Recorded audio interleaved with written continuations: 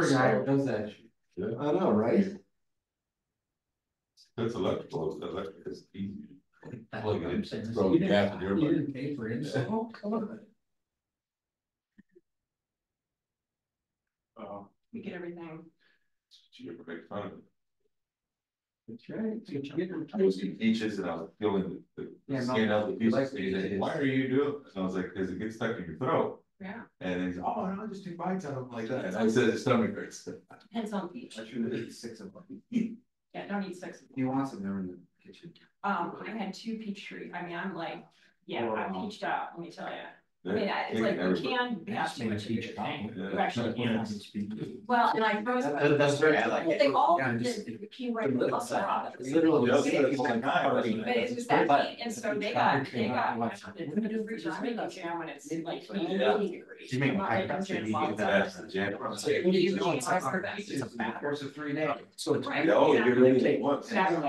It's super. Yeah. For you. Oh, we gave away the neighborhood, oh, the Santa Rosa plants this year. Plums are, The yeah, blooms look like it was great, or I can see a bunch of plants, look up in the tree, Yeah. I mean, like- There, put the peaches. it doesn't look like a picture. Uh, yeah. Like, yes, Because that's it's great. So I of- went. And then I think it's kind of got around, you know, Well, that's it's still really easy, you know, I eyes. like, I my neighbors that they're gonna. Oh, it's like like, a uh, percentage of their it's tiny flour, babies. sugar, These were like and oats. Oh, cool for a crumble. Yeah, Yeah, that's that's what I really do. I've done that with, I think with some nuts maybe. a little Yeah, bit. we found the, uh, I don't know. found the fig tree in the open space. And then just kind of, you're pretty like that. Super good. Uh, I, I, I like the crumble Okay, part. and I- What- what not- is it? it's not peaches. No, absolutely. Like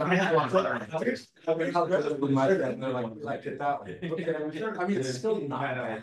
You know. So we went out there and sure enough, we had a bunch of. You're gonna figs. show off, I loved it. They're good. So they're green, it's on the, on the outside and they're purple on the So inside. that's, a- I think that's a, um. They're really is good, that a with mission? sugar. Or no, So- yeah, is that a mission fig, the green one with the? I, I think it is, so it's green on the outside and like just really, really purple on the inside, like really good. They make Javier found us, open space. Which one? the plums fig. or the So- figs. So they're green on the outside, No, no, which, uh, oh, and Portico Creek. Oh. we're not In, talking any- in Port, in Porterfield, Lower or upper. Second bridge. in Porterfield, not so spring. Was that Portico? Yeah, Portico, yeah, near the creek. Oh. So Javier comes back with a handful and I'm like, Must where'd be you get those? That's yellow legged frog habitat. I know. Exactly. They eat those. It's the yellow frog's fig. GIS location. We get There is a we level, get level, this level, written down. level. Uh. Mike. Yeah, we're ready. Oh, okay. I'm sorry, here, talk about. Are you waiting on me? I don't, I'm not sharing anything anymore. Okay. Now, we're good to go? I know. Sure. Yep. keep- Here's Mike. We've been good to go. I was just watching you guys. You got it. Whenever you're ready, Chip. You know, I- I'm having trouble with my legislate, oh, sorry, Yeah, it's my fault. It's my fault. Planning and sustainability. Okay, well, let's go ahead and call the meeting to order. And, uh, we have a roll call. Anybody? Chair Bennett. Yeah. All members are present. All members are Present. All righty. Moving on to uh public comment, item B, are there any members of the public who would like to speak on a matter not on today's agenda, agenda? I just got a couple of comments and, uh, so first of all, uh, Could you state your name for the record, please? Certainly, yeah. Robert Kozlowski, a Cloverdale resident. And uh, one comment, as you've probably heard a lot, taxes are too high is uh, an assertion that a lot of people say. And I think the city's done a good job, but I think we need to continue to focus on spending, not as much on revenue. And with that in mind, I was glad to hear that the city abandoned the um, local Cloverdale property tax proposal which would have raised, and David and I went back and forth on home values and stuff, would have raised uh property tax increases by three to six hundred dollars annually, depending on the value of the property. I was also um pleased to hear that the unelected and non-local BAHFA, Bay Area Housing Finance Authority, withdrew its regional property tax proposal, which would have raised, again, our property taxing, our property taxes here from anywhere from hundred and twenty to two hundred and forty dollars. So that was great. Unfortunately, there's still a state climate bond, bond property tax proposal that's on the ballot. And uh, my observation is that this is a duplicate request for things that we're already funding, whether it's vegetation management through things like PG&E or uh, the, the wildfire settlement fund, among other things. And that'll add about, if it passes, ninety-three to about almost two hundred dollars annually to our property taxes. So the good news is two of the three of them have disappeared. And people that own property won't be hit with, uh, anywhere from five hundred to thousand dollars annually in property taxes, because a lot of people are hurting these days. Um, the only other thing that's a concern as a resident is, uh, the attempt by a lot of politicians to lower the voting threshold from two thirds to fifty-five percent plus one. And, uh, I would advocate that, uh, we say no to these constitutional amendments, AC, ACA one and ACA thirteen. They've since been, um, assigned uh, prop, proposition numbers. And I would argue that we could say yes to the Taxpayer Protection Act, but unfortunately, we can't because Governor Newsom has squashed this protection of taxpayers using the courts. So taxpayer protections will not be on the ballot. So I would encourage the city to look at those things and don't send notes out to folks like, say, Mr. McGuire and others about, yes, we support uh, lowering the voting threshold, because that does not protect taxpayers. That allows the, the government, state and local to uh, raise taxes easier. Anyways, that's my thoughts. Thank you. Thank you. Do you have any public comments? All right, seeing none, we'll move on to communications. I'm not, and I don't see any new communications. Mike, is that No, the only, the only one that got added recently is, um, from Mr. Kozlowski for item F six. But I added it under item F Okay, six great. as a public correspondence, with no other communication. All right. And then we'll, so with that, we'll move on to item D, approval of minutes. Has everyone had a chance to, uh, review the minutes? Is there a motion to approve? Motion to approve. All right, Second. All those in favor? Aye. All right, motion carries. We'll move on to new business and item one. Um, discussion of micro enterprise home kitchen operations. Thank you, Madam Chair. I'm gonna take this item and uh, encourage input from our assistant city manager, community development director, and planning regarding general plan policy, but uh, just to introduce this item, uh, included in the packet is a, is a memo uh, from the Sonoma County Health Director, Tina Rivera, uh, addressed to city managers. I was fortunate to have a- at least a presentation uh, by health department staff uh, on what's referred to as micro enterprise home kitchen operations or MEHKO. Uh, part of their outreach from the county to city managers was uh, in regards to the direction that county staff have received by the board of supervisors uh, to bring forward a, um, an, an, an ordinance uh, establishing, uh, MEHKOs. MEHKOs were, uh, what, what really what they are is, uh, you know, small scale food facilities within, uh, allowed within private, private residences or private homes. This was, legislation that was, brought forward by the assembly, uh, ultimately approved, and it, it basically, uh, enabled, uh, the county to implement, uh, countywide, uh, procedures, uh, or ordinance for, for, micro, micro enterprise home kitchens. Um, so basically, when, it- if, the, if the board decides either by ordinance. Uh, or it can also by resolution to opt in, it would. Uh, permit MEHKOs with, with, in the entirety, it's kind of an unusual one because it typically, uh, when the county opts in. To something, it, it, it only covers the unincorporated area, but I think because this falls within the Department of Health purview. Uh, Department of Health oversees both uh, the county as well as incorporated cities from a, from a health permitting perspective. Um, so the, you know, kind of the premise uh, of MEHKO's in part is to um, support, you know, home-based businesses. We, we have uh, examples here in Cloverdale of uh, what we'll call uh, the tamale lady who uh, you know, everybody says makes the most delicious tamales. And Uh, taquitos. Yes, taquitos. Uh, and, and I think this is a, a, an instance where the legislature has found that there's a number of these small scale business enterprises that, that exist, but they kind of uh, fall under the radar of the health department and, and the intent in part is to uh, I guess for lack of a better word, uh, legalize those uh, operations, but also with that comes uh, you know, some, uh, some requirements to meet health department requirements. So there's a kind of a public health aspect to it.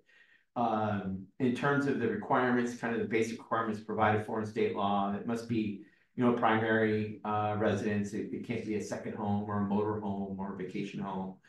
Um, the, the, uh, it can, can be a, a renter, though the property owner has to approve of the use.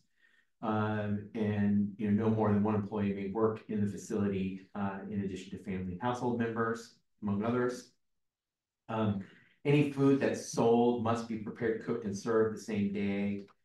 Uh, there, there are some limitations in terms of the, uh, number of meals per day or meals per week and, and gross sales.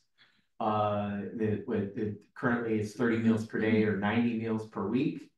Uh, with, you know, gross annual sales limited to hundred thousand dollars annually, and that would be something that would be addressed as part of the health department's permit process. Uh, I will say that, uh, many city managers kind of said, well, that's a pretty tough one to try to monitor, is how you, how you, you know, and what constitutes a meal, is that, you know, One tamale. is that one tamale, is that two tamales?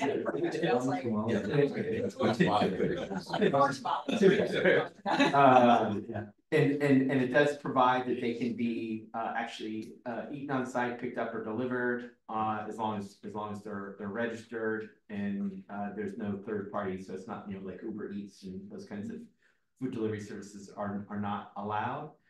Uh, from a, from a health perspective, uh, the environmental health would conduct, you know, an, an inspection a year. I know they're, they're kind of trying to address the, the cost of that service to determine, you know, what's the fee that these businesses would pay, um, uh, to, to have that, you know, to get Are Lot the fees to Cloverdale or the fees to the county? the fees to the county, this would be the health department, and this is kind of, uh, the county operates on kind of a fee recovery basis, so it's. You know, how do they, how do they charge to drive up, do all that stuff? Uh, there's a lot of exclusions, I won't go into all the details. Uh, one of, so the, the, the, the, um. The board has directed staff, county to bring this back in September. And they, they asked that we, uh, share this with, uh, you know, our, our electeds. Uh, so we wanted to start here, um, basically, i- i- by opting in, assuming the board moves forward with that, uh, it, you know, it would be a, what's considered a by right use in residential zones. Unless there is language in the, in a respective general plan that says, you know, that, that explicitly prohibits these types of operations.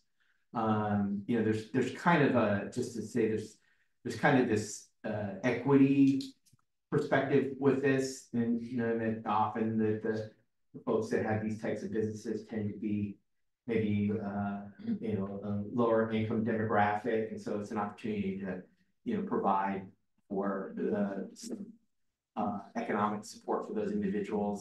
Uh, and other counties have, have already opted in. There's, there's fourteen counties that have opted in. And then there's, there's seventeen that are remaining, and, and it looks like, uh, that, uh, there, there's an intent to, for, for Sonoma County to opt in. Um, and in general, I think many of the cities said they're supportive, but there are, there are concerns. I think the concerns are kind of, uh, in, in the potential, in, in the bucket of potential conflicts around having a, a commercial use in a residential district, if it was to, uh, you know, become an issue, become a problem. Um, and, and, and I think that's where the state attempted to, uh, address that with, you know, either limitations on dollar sales or the number of meals per week. So if it became wildly successful, uh, you know, it might be beyond those permit requirements. Um, but that, that's, that's kind of it in a nutshell in terms of the program.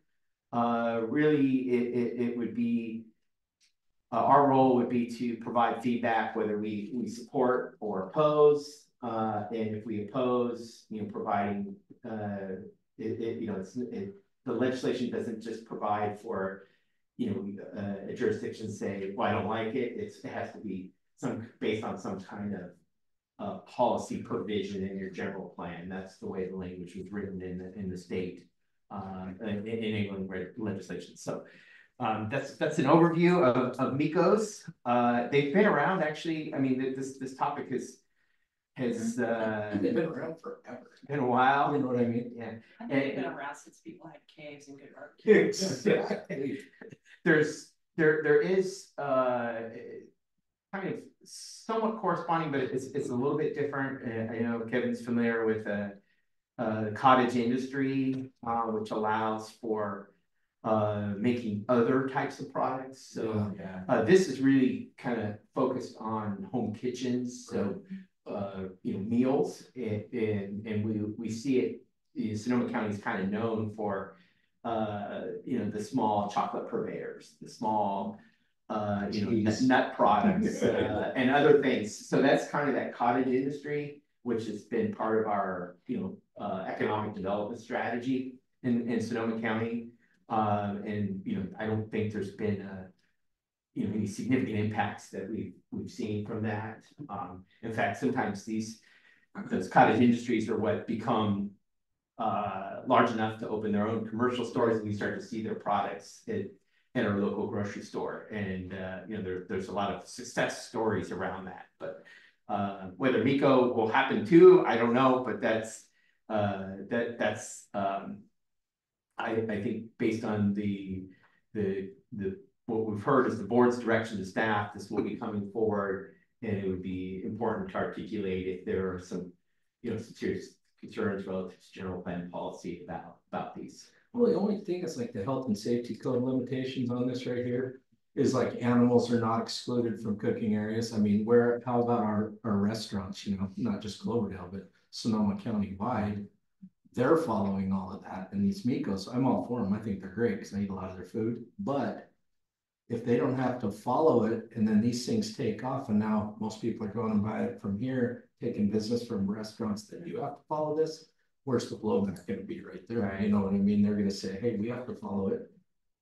On the other hand, I think a lot of restaurants would say that's how it started. Exactly, you know, it's, And that is the limitation. I think that's the, what they're trying to limit the number of meals and also the gross um annual income is that when you get to be a certain size, then you need to go and open up a professional site. Right. So, They still still have kind of a, um, business, Florida business license. yeah, and that's and actually yeah. my, for Uh, for a home business business. license. Yeah. uh, paperwork, right? yeah, food handler card and all that stuff. I mean, yeah. Yeah, I mean, it's- it's like a cottage, you, you can make this, you can make food at your house legally. Package it up and sell it commercially with the health inspection, the big, I think one of the bigger changes here is you can have people come to your house. Right. Yeah. And, and David's right, the cottages like jams and things like that typically, but. And then David mentioned the general plan, I mean, I went through the general plan and I. There's really, I mean, our general plan's a little older, so there's, I don't envision things like this, but there's, I can't find anything that explicitly. You know, there's one that says discourage creation of retail centers outside of downtown, but I don't know if this would be considered a This commercial retail center. Yeah. But there's other things that support it, you know, jobs, housing balance and things like that, so I don't think there's anything explicit in the general plan that would say forget this, so. Yeah. I, I think that, I mean, I certainly haven't been on the planning commission for a little while, but I can't think of anything that would prohibit it because it would have become an issue when we had more home-based businesses. And the fact is, is that micro business and micro industry is becoming more and more prevalent. I'm actually surprised that it took this, the, the, the legislature to have Sonoma County take this on because actually when I was sitting on the Sonoma County Economic Development Board, um, this is clearly identified as a place that, uh, development of micro business that then results in the development of big business like Tortilla, La Tortilla Factory being a prime example. That, that company is big. Amy's Kitchen, now a big company. People forget they started in their garages. So many people, um, start off small, selling food to friends and family, and then it balloons. And it actually is kind of the, the, the backbone of the Sonoma County um, food sector. I mean, the, and the, the other factor too is that it's often, I mean, certainly I don't want to be sexist or anything, but oftentimes it's single women who are um, producing this food to support their families and create a business that is sustainable. Um, and they are, um, family, uh, sustaining business of, I think, I, I don't want to name another, uh, Cloverdale business that actually has a restaurant in Santa Rosa. started out this way, making food. Um, and then it, they turned it, and now they've been open for, I wanna say fifteen or, or twenty years. So I think that that, I'm just, I'm surprised that Sonoma County didn't actually lead on getting this moving because it's already a part of our strategic economic development plan for, um, for home business and micro businesses. My only feedback would be, uh, you beat me to the punch, is that they, you know, Cloverdale would require them to have a business license. And, um, and register, home occupation, or just, you know, just. as It does say it's exempt from local zoning, but the business license. The business license, I, it's just like my home-based business, you know, it's my, it's, and I have a business license, like, do we do business out of our home, and we have even fewer. Well, it kind of, kind of comes and goes, but I mean, my neighbors don't notice my clients coming and, you know, um, dropping off computers and picking them up, and they don't notice them coming over and doing. You know, initial meetings for web development, they don't, you know, they just, they're, I mean, you know, their kids visit more than my clients do, so. You know, so I think that if we kind of just keep it, um, in, uh, in a bucket where it's very similar to what other things that we're already doing, I guess that would be, you know, my only feedback would be that I would like them to have a, a business license and then. Um, also have a way to plug them into Sonoma County Economic Development Board so that when they are ready for. Um, for financing and for, you know, this, for a business plan, so let's face it, you just throw this stuff up and you see it, people like their. Tamales, you know, and then you write a business plan, so.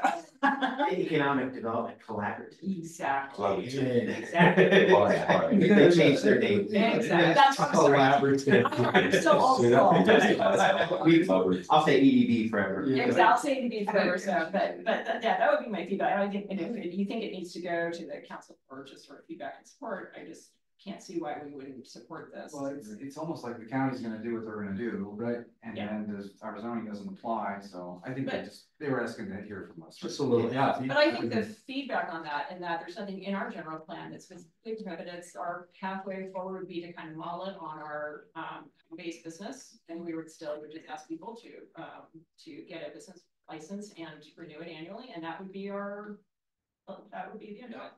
Yeah, I, I, I don't think it, it doesn't really require council action per se, uh, it's just whether. To, to address whether there's policy that prohibits it. And There you so go. If, if there, it, it's kind of within staff's purview to identify that, and otherwise, uh, Do they pay sales tax? No, I, I don't think so. I don't think I so, don't think so. you know, yes, Yeah. yes.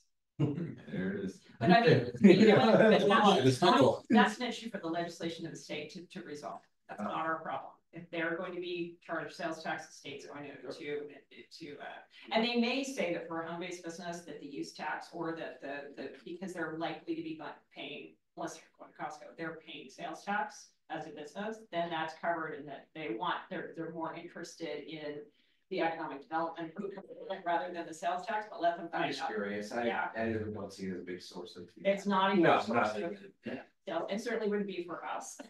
So, but like, I imagine that question will be asked with the legislature. So Melanie, why, why is the state and the county doing this in the first place in terms of regulation? Because, um, you know, like they're doing it anyway, so why are they trying to formalize it? Because people sell their peach cobblers and their plum jam and their lemonade stands out front of the house, so I'm just curious why they're trying to formalize it.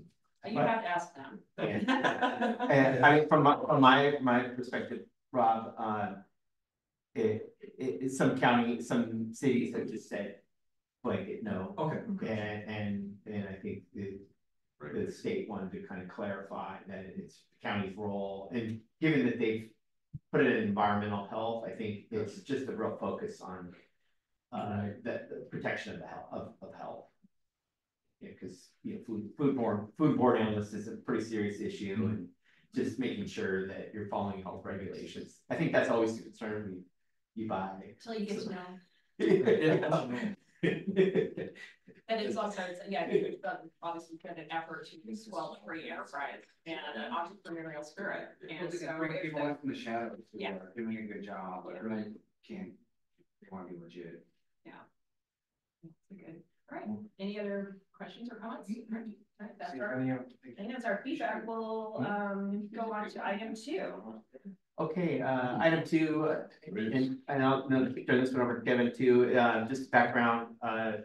uh, the city council uh, updated the uh, mobile home rent control ordinance uh, with kind of more uh, up-to-date uh, requirements, including, you know, putting in um, measures that were more consistent with the county's um, mobile home uh, rent control requirements and providing appropriate oversight. Uh, during that process, one of the uh, tools, additional tools that was identified that could help to protect mobile home parks is uh, whether to establish a, uh, a mobile home park overlay district. Uh, most of our mobile home parks currently, uh, of course, there, uh, the rent controls in place based on the council's adoption of the updated ordinance. Uh, but ultimately, the underlying zoning for those is residential. So if in the future, a, uh, park owner wanted to convert that to single family homes, there's a process for that, they could, but uh, they would not be restricted by zoning. Uh, what some cities have done, um, most recently is the city of Petaluma.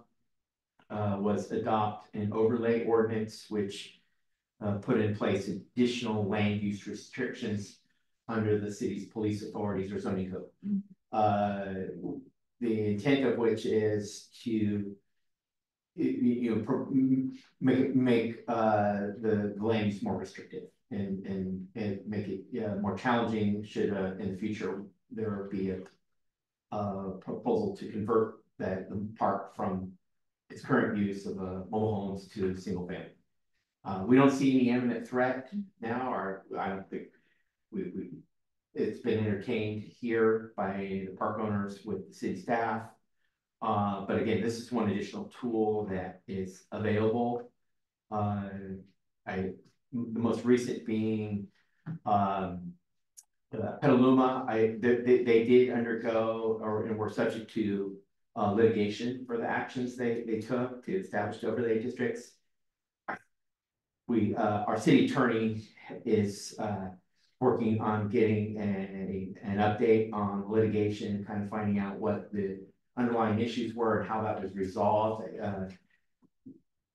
Uh, he thinks it was sol- uh, uh, resolved or settled in favor of the city, but I don't know if there, you know, if that was a settlement and what, if, what, you know, what, what if there was any, uh, set, you know, the settlement options that were uh, required as part of that, uh, case. Uh, so that, that's something we're still, uh, we'll, we'll need, to- yeah, we'll need to Take take determine. Brain on that one. Um, but, but that's, that, that's the premise, uh. It, it's here today, we received a, a request from council member, uh, to have the, the council weigh in on whether to establish an overlay district or not. Uh, and, uh, as part of following the kind of two-touch rule in our governance manual, it was brought here to get this, this subcommittee's, um, recommendation relative to whether, whether to proceed. Uh, couple of thoughts here is, is it, it would require, um, you know, it's a multi-step process. It would require uh, writing the, the, the zoning district, you know, preparing a new, a new district, uh, uh, and then, uh, not just establishing the zoning itself for inclusion in the zoning ordinance via zoning amendment, would, would be actually changing the, uh, so one, you, you could create the district and, and, and, and not do a zone change. So you have it on the books in case someone wanted to do it, or, you know, the, the, kind of the second part of that would be to, uh. Actually rezone properties, uh, that we, or council recommends be considered as part of this overlay district, so. Uh, that usually requires, you know, community outreach process with those property owners. It's also Uh, expensive. Yes. Yeah, That's a series of public meetings and the Right. general. And- plan and time. review, So. Pile of staff. time. and, and, and it, depending on the nature and aspect of it. Uh, you know, we, we have to do, or, you know, staff would have to uh, conduct environmental review. Uh, under CEQA, um, it, I it, think the word you're using is onerous, David. It's an, it's an onerous undertaking. It's It, actually. it, it is, it would be a, it would be a big, a big item for our work plan, uh, we'll, we'll, we'll, we'll wouldn't question that, um, and so. Uh, it, it, it's really, that's. I'll pause there, it, it's really, uh, for this committee to, to discuss and, uh, you know, do, we- do, you know, ultimately. We'll do more research on this and bring it to council for, for, uh, a formal resolution, but we'd like to get the, the subcommittee's feedback on whether it's uh beneficial or advantageous, or you'd otherwise like to see us proceed. Yeah, I think, uh. We would like to maybe bring to council just some pros and cons about it and, and have a discussion. If you wanted to proceed with it, we go to planning commission for a recommend, probably two hearings and then a recommendation back, yeah, so. And there, there, there, um, just to be frank, I think there was some contention. Created with our mobile home park owners with the imposition of the rent control, uh, that's just my, my assessment based on their. Their reaction, uh, so I, I, I, I think it, just from a. Uh, a process perspective, it, it's, it's, you know, it, we're, we're not gonna do it with a friendly set of landowners. Uh, you know, they, they'll look at it as, a- as us imposing uh, additional land use restrictions So on I. I have a, a, a kind of a functional question first, um, because. I think Petaluma is a very different, I'm like, so I'm not saying, you know, overlays are good, overlays are bad. I'm like, I'm wondering though, if, what are the conditions that are perhaps unique to Petaluma that kind of. Push them more in that overlay, and do we really follow the same, um, set of, do we still have the same set of conditions? Like, are there mobile home parks more, um, dispersed? Vulnerable, maybe they're. Like, More, more, more vulnerable to conversion, are they more, are they more geographically dispersed? I mean, the ones I'm thinking of are the ones on, you know, Cloverdale, RV Park, Palms and Briarwood.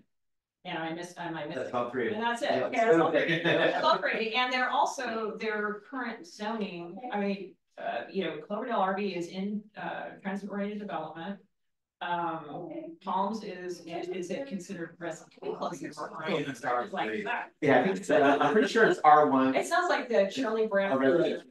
Um, so R one, okay, and then Briarwood would be probably R one, since it's adjacent. Yeah, I think it might, that one might be R R two. That might be R two, okay, so that's kind of like where, I'm just, so my first question would be, you know, did they have a different motivation for maybe doing that overlay? Could we maybe handle a little differently, so we're just in a different situation, so just.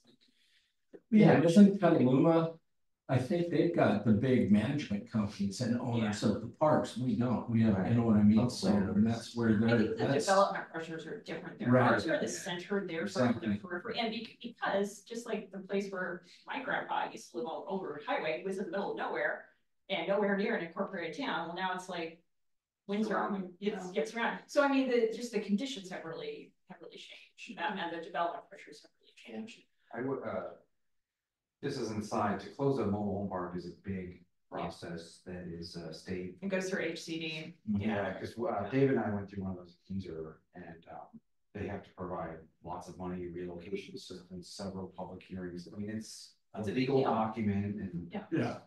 Um. But I don't know, I mean, we, if you guys are okay with it, we can put something together and bring it to council, we can talk about it more or. Yeah, I, I guess the, the thing that I, for, for, for Cloverdale, I mean, I would think that the exist, our existing zoning, um, we also have kind of, you talk about as the community too, is that, uh, times have really changed. Mobile home parks that were, you know, privately owned, they were, they're for profit, and the market didn't exert the kind of development pressure that we have now. Things are, and so, you know, one of the things that I've kind of been talking about, some of my, some of my colleagues at Cal Cities is that what are we doing about a glide path? Because these are not deed, this is, this is de facto affordable housing, but it's not deed restricted in any way. Um, and so that's probably the bigger, more important question is that we have to be realistic about the development pressures on these properties. Um, if we said, you know, we're going to, well, you know, Cloverdale RV, I would be perfectly happy to leave it in transit oriented development because we'd probably get denser, far more improved, far more um stable housing there if it ever does become developed, but the uh Briarwood's beautiful. I mean, my gosh, I've been to a book club there, how many times that place is paradise. Um, but there could be a point where they're pressured, there's development pressure for single family housing, so do we wanna say? Um, that we want to apply um R two, which would make it available more, more easily available to, to multifamily housing. Whose timer's going off? It's not mine. So that's- Anyway, it's not ours. So, so I mean, but so maybe present those as options is that, you know, we have a very different set of conditions, especially very different set of development pressures in, in here than in Petaluma. It's, le- it's going to happen. There's going to be development pressure It's just, you know, we can sit here in our bubble and say, oh, it's never gonna happen in my lifetime and ten years down the road. The council's gonna be facing it. And it'd be better if we had a really cogent, well-formed basis of a policy rather than get um caught. And I, you know, the perfect example of that, David, is the wine storage at the south end of town. We should have been busily, we should have been rezoning that. We should have really been examining, having a plan for that. And we were, when the development came in, we were flat-footed and unprepared. So I think that the best policy forward, being kind to future council members and future staff is to, you know, say, let's look at what is in line with the community vision for um, affordable housing and for the levels of density that we want in those particular places. Come up with a good solid policy that's not being developed under a lot of pressure. And, you know, put something that's workable on the books now. Yeah. I mean, I, I would say that, uh. I don't know how much more protection we Mhm. just, honestly, that because in Windsor, that one south of Oliver's. That's the one I'm talking Yeah. about. They, Windsor already does have mobile North. park. Or north, sorry. Yeah. Um, they have mobile home park zone. So they had that, but they were still able to, so I. But we might wanna really consider, think of it in terms of like glide path, um, for, for, um. What do we want for multifamily housing? What do we want for density in those areas and zoned appropriately? Um, and like you said, if you wanna close a mobile home park, you better, you better bring your game face. Yeah. Cause it's, you know, it's a huge deal. That means that it's a huge real estate deal and, you know. And they have to provide for um the residents, but what I'm, what I'm seeing in, you know, uh, mobile home parks across California is that because they aren't. Um, um, deed restricted, they're, they're just, they're fragile. And so we, we have to be realistic about that, is that it's a, that's our de facto affordable housing. What are we gonna do to make sure that we have senior um, housing, veteran housing, uh, housing for working families? Um, that might be, that might be different from, from mobile, current mobile home parks and making sure that it's zoned so that it can't just go to. Make, those, none of those places are like positioned to be like McMansion, single No. family, they're not, that's, that's just not realistically, the market isn't going to determine that, but they are positioned to where they could be. Um, you know, the Briarwood and Palms could be R two, which would allow for a mixture of single family and uh multifamily housing. And they're, and it's, they're, and they're, they're really well located. Right on, you know, transportation lines, um. Palms is near um. The depot in downtown, um, so that might be what we wanna see is that there might, it- it- we, I don't know, I don't know what you can do too, as far as saying. That we are interested in affordable housing projects in those locations. That might be anathema to some of the advocates for um, for mobile home park residents though. Yeah. So it's a, it's a tough issue. Yeah. It's a very tough issue. But I just, don't- I don't think that you're, with just with property rights in California, you're not going to be able to prevent people from um changing. Um, mo- you know, the mobile home park into um into something else, yes, It's, it's just really expensive. yeah, So it would, you know, it'd have to really make sense economically for someone to try to, try to do it. but I think it's easy to sit here now and say that, but in ten years. Yeah, exactly. I mean, it might change. might change, yeah. So that's a general plan question. Really, is what kind of density do we wanna see in those locations? So that's, I think that would be, I, I'm not sure, I, I don't hear a reason why overlay would be appropriate for us. I think we have sufficient zoning. Um, and maybe we just examine that and, and tighten it up where we need to.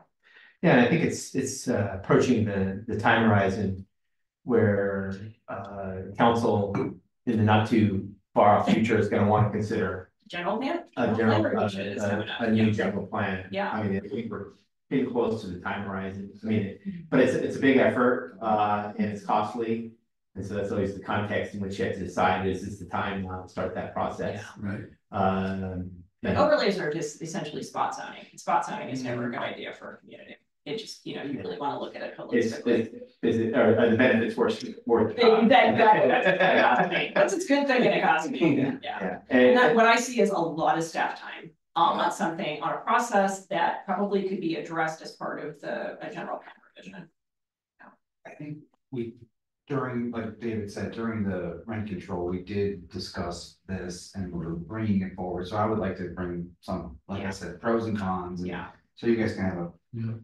A, a view of what it, what it takes and what it does. well, what I, what I see is that the, the rent control process that we had to. Um, that we, and we really needed to, to, to, to engage in is it's part of the glide path for really addressing what the future of mobile homes are in California, because I don't think that. We can maintain small A affordable housing with market that under, in, in the current market, it's like, it's going to have to be de, if you want it, it's gotta be de-restricted. So, I think those days are over, anyway. All right, any other comments or questions about? Um. This, this item? If not, all right, let's, um, let's move on. Sorry, let's see, what's our, our, page two, Mike, standing items? Did I skip anything? Oh, You're on task. There you go. Come on, all right, I'm on task. It's amazing. Because I, because I have my coffee. So under, uh, planning update community development line, Uh, yeah, we, uh, gave the same report to the school district last night. We haven't received any new development applications.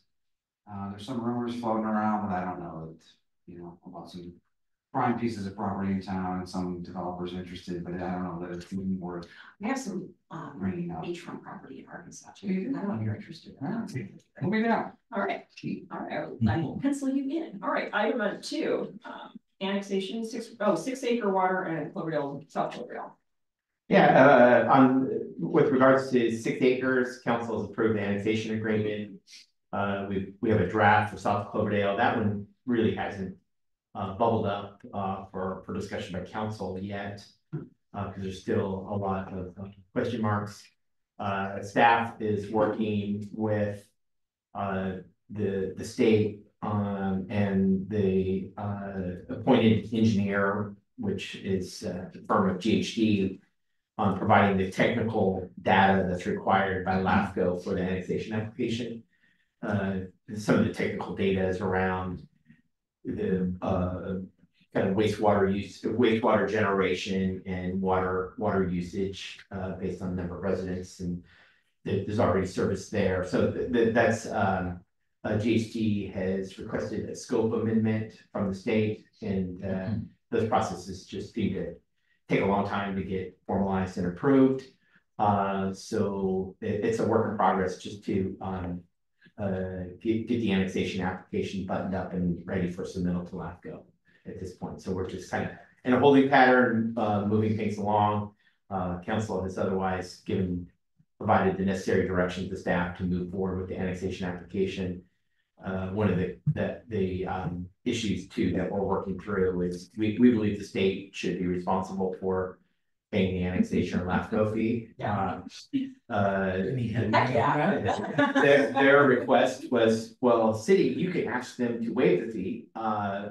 Uh, and, and they, they came back and said, well, that will require formal action of the LAFCO board, which. you This is know, like getting a windshield replaced. And, And man, it's just the road runner. and we, we've submitted our, uh, request for reimbursement for staff times, which goes back to just twenty twenty-one. Um, and so that, that's pending, and, and that's about, uh, uh, thirty thousand dollars in revenue for us, uh, that we're, we're waiting on the state to, uh, respond. Yeah, putting together the LAFCO application is like, there's a lot of technical Yeah. things that are needed. Right. Yes, And we're all, well, who's doing it, like, we, Sam, we can't put together a map that's gonna meet the criteria that's. So we're wrangling over. who's- Yeah, the county surveyor has to, it has to be a, uh, you know, an actual record of survey map that's checked by the county surveyor. You do that, right? Ultimately, Yeah. gets approved ultimately has to go to the state and the state surveyor checks it for Right. accuracy. Right. Cause it, it modifies the tax boundaries, so. Right. And there's a lot of data points, uh, it's not a, it, there's not a lot of firms that do that work, it's, uh, it's, it's not something. The planning staff has ever done, you have to actually be a registered land surveyor, uh, which we we don't have on staff, so. Anyways, So- that's all in the process. Like, is, should that just be contract? I mean, if we get stuck with it, can we just contract it out to our Ultimately, local surveyor? we would have to. Yeah, yeah, we're trying not to get stuck. Yeah, even our local surveyor, uh, we found it, it, it's, u- it's kind of specialized. Yeah, Uh, the, the, the data that the state, particularly the state wants is. Uh, on, the- on, on the boundary mop, because it's a. Modification of the city boundaries, they, Mhm. they, it, it, it's, No, uh, it it's a little more tax- tech, it's a little more technical. rolls, it impacts, Right. yeah, I, I get it, but still. It goes through multiple, multiple processes. It's kind of crazy to think we could put that together or we're gonna pay for it. Okay, well, keep, um, fighting the good fight. Well, speaking of boundaries, how about urban growth boundaries? This one, this one hopefully isn't as hard. it. It's- Is, uh, qualifying for the ballot, right, Mike? Uh, Congratulations. Our, uh, the impartial analysis was submitted by. Our city clerk, it was prepared by our, our city attorney, um, as, as impartial analysis are, so it's all fact-based. Our, uh. Mayor did prepare an argument in favor of, uh, that was. Uh, submitted to the register of voters as well, so. Uh, we haven't heard uh, yet whether there will be a rebuttal or not, uh. And if so, we, we have an opportunity, we have a brief opportunity to provide a, a rebuttal to the rebuttal, I think is how it works, but, um, uh. So far. I'm not even gonna curse it by saying, asking the question, so. It's, uh, it'll be, it'll go before the voters in November, it's measure CC. CC, CC. that's a happy sounding. Is the city proposing stuff to get the voters on board to say, vote yes, or you have to We be can't. neutral? We, we have to be fact-based. Right, okay. And Um, anybody who's a member of the public who's watching today who'd be interested in promoting this item on its merits would be um more than um uh able to do that. Right, David? That's correct. That's correct. All right, anything else on item? Not moving to item four, flood master plan. Yeah, so, uh. Just Hopefully, is our, is our airport in? uh, well, it, it is kind, it is kind of wide, and so the. Uh, Sonoma Water's been leading up the planning process for development of a, you know, county-wide flood master plan. Uh, it, it's taken some time, they have published a, a, a draft. Uh, that hasn't been released to the public yet, but they wanted. Uh, and sought public input, we provided comments. Uh, on the draft on uh, Thursday last week. Uh, with the assistance of our, our city engineer, uh, there's, there's kind of some, you know, technical issues to, to address, um. So we, we're, we're continuing to monitor and follow the process. Uh, and provide our, our comments, uh, you know, some of the issues include, some of the things that are being addressed is. You know, stream maintenance, uh, and you know, what are the hurdles to make sure that our, our local river channels are free of debris and what it's required to do that.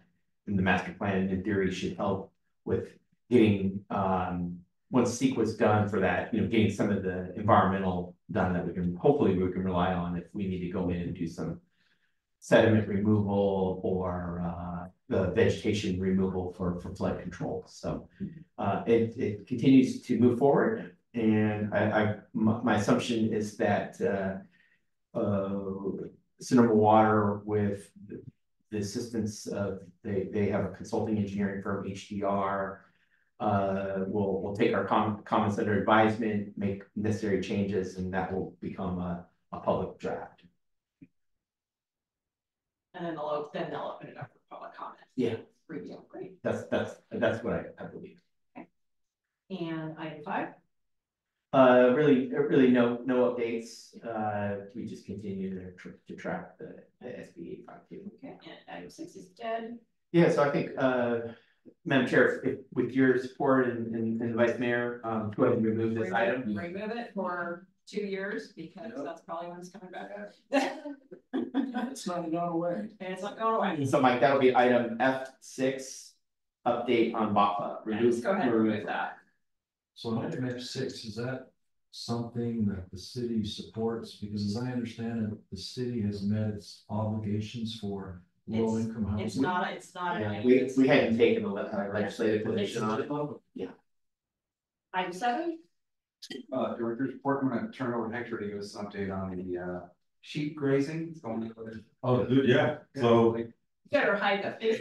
It's not- Yes. I know the goats will too. One of the things we discover about, about goats and sheep is that, you know, that's really the new, that's really the new, It's the new John Deere. exactly. We're gonna get rid of John Deere. No, it's a new, it's a new form of vegetation management that's, that, that works very, very well. We, we, uh, we, we had a, like a pilot test project there at the River Park. Again, worked for thousands of years and now we're doing it We're again. going back. Good. Yeah, we, we had that, that smaller pilot project there at the river park. Where we had a herd of 200 200 sheep, a mix between sheep and goats. And, uh, near the water plant, which is very critical, and, I mean, they devoured everything. Yeah. They were there four They days. did a good job up there. Uh, Well, the and- sheep do all the low stuff and then the goats get Yeah. up and get to the, front. they, so they actually do different levels on the, uh, yeah, they get up into the ground, like the goats like, like they eat blackberries. Big blackberries, poison oak, Poison oak. They eat all that like- stuff. it's like, You go, you get in there. and, uh, especially, you know, you you know, using the goats for grazing, you get, you know, you get, a lot of times you get. You know, there's a lot of critters living in, in those areas, so you, you know, definitely.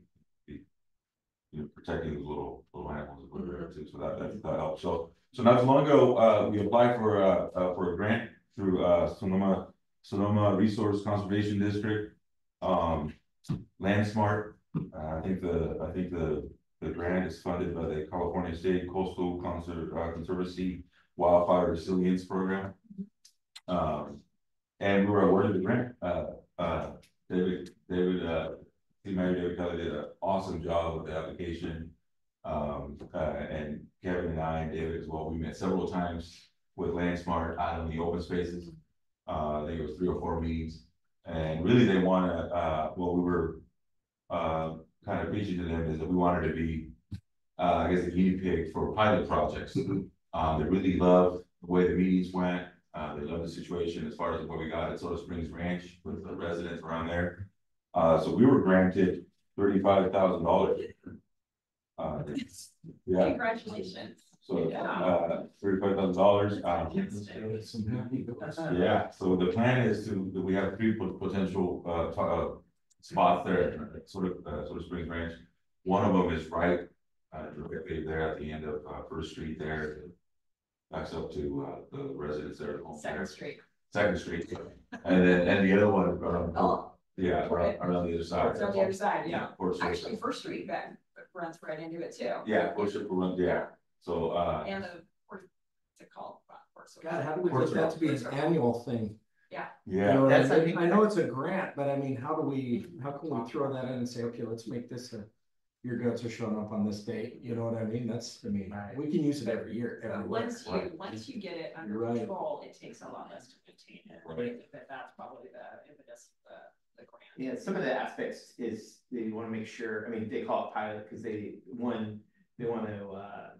s- s- They see this as an opportunity to, uh, educate the community, Mhm. and, and I think our community is pretty educated, but, you know, it- just to. To be able to see it in action, Right. uh, as, as part of it, uh, and, and go through the process of, of. Implementing the program so that it, it can be something that becomes formalized, uh. The, the, the, one of the, uh, grazing managers came out, said, uh. Uh, Petaluma's going full tilt with their grazing program and they're even using. Uh, sheep and, and the goats in some of their urban parks. Yeah. yeah, Uh, and because they're finding that there's just these tremendous benefits of, uh. Alleviating staff time and the, the ease of managing some of the herds, Right. so, you know, that, that'd be something we we would be able to learn from. There, there are. Fertilization. Yeah, right. Get it all. They aerate the soil, they Yeah. fertilize, they Yeah, there's bring the- all of these additional benefits, I they know. don't, they, they don't damage and, you know. right, Um, and they don't do damage to the bird population and to the, the that's, it's, creatures and. yeah, and one of the things too, as far as like Soda Springs Ranch, there, there are some areas that. there's physically, we can't get any equipment. Yeah. I mean, it's like, it's just, it's too steep, it's, it's dangerous for, for Oh, park so staff. like. And they'll just go right through there. and- well, we're planning on- Yeah. Yeah, so we're, we're planning on, uh, we should, if everything goes according to plan, we should be receiving the funding around, uh, October. Mhm. I want, uh, and then, of course, we were, we would uh, implement with the sheep and goats will come in on time after spring and, and start working. Hector, what were they saying about the, the neighbor, who's the neighbor who has the goats? Leland, Yeah. so he's, li- he's literally above Soda Springs Ranch. Oh, So we're trying to find a way to see if we can just open the gates and just let them loose out here. Right. So he would get the Free fee. grazing for him. yeah. So save up a little money on the. Yeah. So we had to, yeah, I thought, yeah, first, no. Well, one of the things they, they talked about was, you know, uh, again, this be something we could evaluate is, do you. You, you, the city could offer, you know, in, in exchange of Yeah. land for grazing. You know, and it's kind of a Yeah. quid pro quo for kind of both. thing, it's good for, it's good for them, for. Or the off-season or something. yeah, for them to have land to put their animals and graze, and it obviously comes with the benefit of reducing. the Called, vegetation. it's called, Absolutely. ro- it's called pasture rotation. Yeah. Again, thousands of years. One- one- You know, you know. Yeah, so that's what I was gonna say, so you mentioned another positive thing is positive, uh, he, I know the, the owner. He goes to the gym, I see him at the gym, You go to the gym? and he, yeah, and then so he's planning. It's a good one. So, been there. so he, he said, Tamales. Yeah. yeah, I was gonna say, what's all this? Yeah. Yeah, so, so he, he's, he's a really nice guy, he says that he's willing to work with us in our budget.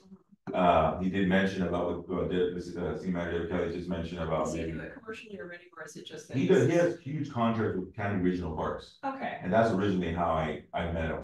On one of those Okay. meetings, and, uh, he was like, yeah, I'm local, I'm from Gloria, I'm like, really? So we just kind of talked, started talking there at the time, and that's how. he's, he's already a vendor. Yeah, He's already. he's a okay. local, local business and all that, so that's, uh, so that's one, one great benefit. He, he did mention that he would willing to work with us with our budget, whether it's just through this grant, or whether it's just with the general fund monies that we put aside for vegetation management. Yeah. Wow, job openings for sheep herders and goat herders. Yeah. It's. Well, and, good. and, and It's it's, business. yeah, and as an aside, um. One of the, uh, challenges is the legislation requiring use of all electric equipment and. That's good. Uh, you know, especially in the open We can- spaces, we how, can- you know, how do you get up there Right. with, uh, electric weed eaters? Yeah. It, it, it- it's gonna be very, it's gonna be very Well, tough. if there's such a, there's such a fire danger in using gas powered and, you know, and other, um, equipment like that. Any it's- weed whacker, yeah. Any weed whacker can start a spark and start a fire. I mean, it's ju- just dragging a chain. We've already seen a huge fire this year, just, but you know, an accident. And so, uh, Yes. anytime that you can go low, the lower the tech, the better. Absolutely, yes, that's, that's very exciting, you know, like. Like, like we were just saying, I think there's a possibility there might be some extra more funding there with them in the future, in the future, I, I've always been very transparent with them, they send me any form or anything that. Yeah. Any program or anything, you know, we'll be your pilot project, we got five hundred acres now, of open space and. Uh. we'll And that's something you can really work with too, Yeah. for a pilot, that, that's much more attractive than just the river Right. so, but you really should be commended for the, the vision. That you're, um, you're pursuing and, and that you're, you're building, because, you know, when we. Included the portion in the general plan to, for the vision to acquire the hillside, it was, you know, even before, this was before twenty seventeen, and it was for fire safety and for. Uh, watershed protection, and it's really integrating our parks and recreation with our fire safety and water quality efforts. And so, and, and this, going after this grant and this style of land management, I think Misty said it best when she's like, you're really taking on a county parks Right. type facility, but the city's doing it. So we have to change how we think about, you know, this is not, yeah, this is not Purple Park or City Park with the play structures. This is land management. Right. So that, that takes a, a, a, you know, that takes a real adjustment in how, um, you know, we set up our, the practices going forward, it really should be commended for the multiple benefits that all of this does. I know, yeah, thirty-five thousand dollar grant, how can we get this to, you know, how, how can we pay for grazing in the future? But we have to look at it as, it's not just recreation activity, it's fire safety, it's water quality. It's, um, you know, basic, and another thing that it is, is, um, it, those residential properties adjacent to these parks are gonna be highly sought after, just like they are all over Yeah. California and all over the country. People wanna live next to parks. The, the, the property values really maintain, main, you know, they, they, they, they stay up, or they, they stay uh, steady or they go up because those housing near parks and amenities is, um, never gonna lose its value, so. So, uh, well done, well done. And there was uh, the team effort, the team I wanted to get a new dog, but I woke that dog, that guy went on the river. Not doing his job. He was sleeping, I literally woke him and poked him. And, Well, his eyes was like, you're supposed to be guarding these guys. let's do it here. Yeah. Yeah, no, no cougars, right? Nose, nose. He was just laying there in this little holding, you know, and it's like, what are you doing? I thought he was dead, didn't know, it was crazy. He started laughing, I talked to him, he's like, you're a good dog, and he's like, yeah, he's tired. Yeah, he's been working hard. He's a work getting tired now. It's funny. He was on his union mandated break and you. Uh, he- he was. Probably on a real hardcore one. Oh my god, okay, well, no, but that's really great news and congratulations, and I, I, I know you're gonna continue to be, you know, innovative and. Um, and, it- you know, you're, you're spending time on valuable, valuable projects, so thank you so much for, for everything you're doing. Yeah, because parks management and land management, two different. And where, Yeah. forest management, all this stuff. It's We've always crazy. thought of them as being very separate and, and different, and, and in our, ci- in our, in our rural city, they aren't. You're gonna have, you, you got playgrounds with play equipment and pickleball, and you've got wide open cougar country. Mhm. So, you know, um, we have to be ready for everything.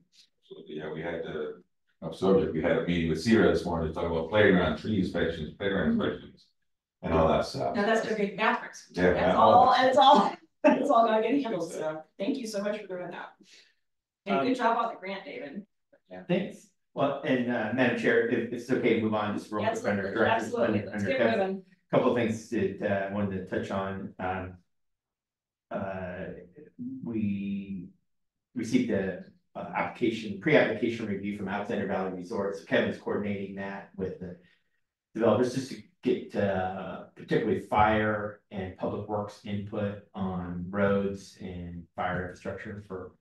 The, uh, Esmeralda's Land Company's proposal there, so that, that, uh. Uh, we're, I'm glad they filed, they filed the pre-application, paid the fee, so, uh, we'll be looking at.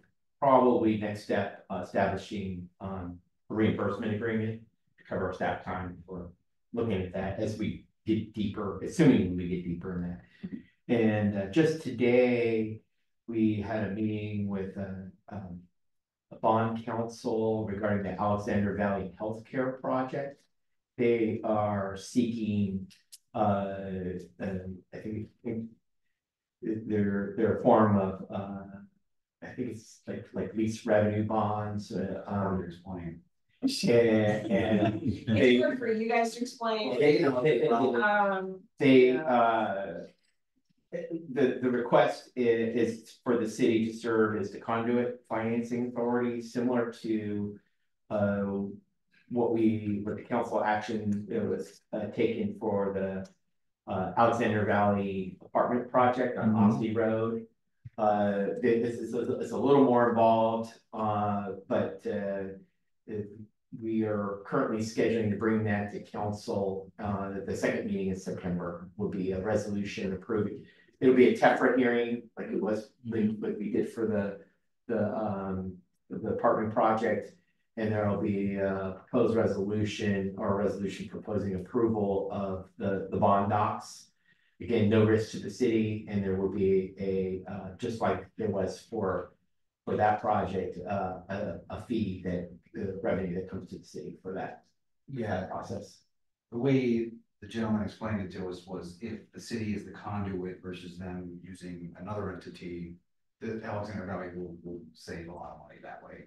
you mean like with, with the Northern Sonoma County Hospital District being an alternate or something like that, or? Yeah, I think they have to go through the state maybe. Oh, okay. And the state, and it's through a state community, uh, He's gonna Bond send us program. memo that- that And Explains it. yeah, and, and so I, I them for a memo.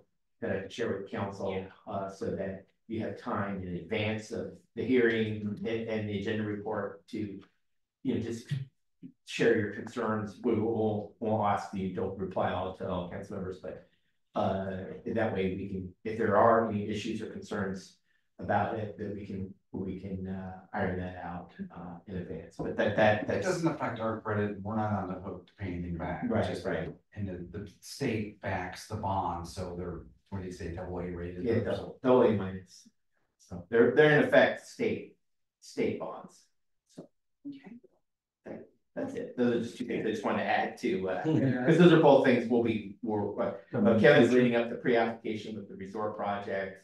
Uh, and then we'll all be coordinating with, uh, the, a lot of it's gonna be city attorney review on the TEFRA hearing for the, for the Alexander Valley Healthcare Project. All right. Those are some big bites. Yeah, those are heavy hitters right there. All right, guys. Uh, they're, they're, they're spending, Thirty-five million bucks. Yeah. spending a lot of time on that pre-app. I bet. Well, actually, I've not had my follow-up With that that. yet. I, yeah, I'm looking forward to it. So I would imagine that there have been um some new regulations around um fire safety and things um since that two thousand nine specific plan was approved and They wanna do sort of alternative roads, Yeah, which the fire district has already reviewed them. So we're just gonna have a discussion about these roads and if they're gonna be acceptable. They're all gonna be private. Yeah. So that's good. So, uh, that's what Devin requested. So we've got plans in there and so we'll have that discussion. that's, oh, that's. Give us some actually- feedback. That's actually. Yeah, great. Okay. All right, anything else on standing items? Not move on to, we don't have any uh, transportation update on Bright program. I don't think there's any The, news, but probably active transportation. Uh, yeah, th- this, it's in draft. Check in. We're gonna, yeah. Uh, I talked to Dana and, um, so it's in, it's gonna be in draft form in September, sent to SCTA and us for review and comment. So they're making progress. I remember they had the workshop, I think Yeah. you attended. Um, so it'd be interesting to see what they came up with. And and that's also helping to inform uh uh the update of our circulation law. Exactly. Um, mean, well, and it's very, it's maybe greatly impacted by um the new development, including Alexander Valley Resort, Baumgartner, um, Alexander Apartments and Yeah. we know. It's really very timely. Yeah, uh, that's great news. Great. And update on recreation. Survey results. is that- Yeah, it's in your packet. That's very cool. That was very cool. The, we, you know, as we, we did with the previous Ferber Park survey, uh, we put it in the newsletter, it was. It was in about eight or nine weeks of the newsletter, uh, with the link to the survey and. Uh, including your packets, the survey results, so turn that over to Kevin and. Mike, Mike wants to, uh, I'm gonna go ahead and, uh. Megan? You guys hear me okay? We I'll go ahead and share my screen real quick, just so you can see it. I'll go through pretty quickly. That sounds really muffled. How about, Just how like- about now? I, you can hear me, I just There we figured go. There we go. Also, I- I'm. Yeah, Mike. Uh, I just want to confirm you can see my screen. Here. I got- Alright, um. So this is our new slideshow, um, format, which you can see momentarily. Um, alright, so our recreation survey results, um, we got them. I'll say that, uh, Kevin, Hector and I, um, created the questions. Did quite a bit of marketing and outreach for it. We put it online and distributed it via social media. Chamber of Commerce helped out with that. We had it in our weekly newsletters. Thanks, David and Kevin, for posting those. Um, we printed flyers at the grocery stores, kiosks throughout the city, um, at CPAC, local gym. We sent it to the um, Cloverdale Unified School District Superintendent for distribution to student body. I'm I can't confirm that that happened. Um, unfortunately, we didn't get a lot of uh, youth involved, um, as many as I was hoping. And in fact, we didn't get as many people as we got involved. We had more people on the Ferber Park um, as far as responses go. You can see that we had it open for quite a while, but we only got 311 responses. But those responses are very um, helpful as far as uh, what people are looking for in recreation. Um, this kind of just gives you an age demographic. I'm going to again go through these pretty quickly. Um, the questions were, do you currently travel to other municipalities to utilize our recreation? And a resounding yes. The majority of people are leaving our city and spending money elsewhere because we don't currently have very many at all, if at all, um, recreation activities sponsored by the city. So that is something we're trying to change so that a lot of that uh, money is spent here instead of people having to leave. Um, kind of the point of this survey in general. But how often would you anticipate participating in recreation departments? Um, quite a few weekly, monthly, few rarely, and a couple of nevers. Um, what days, times are most convenient for you to attend?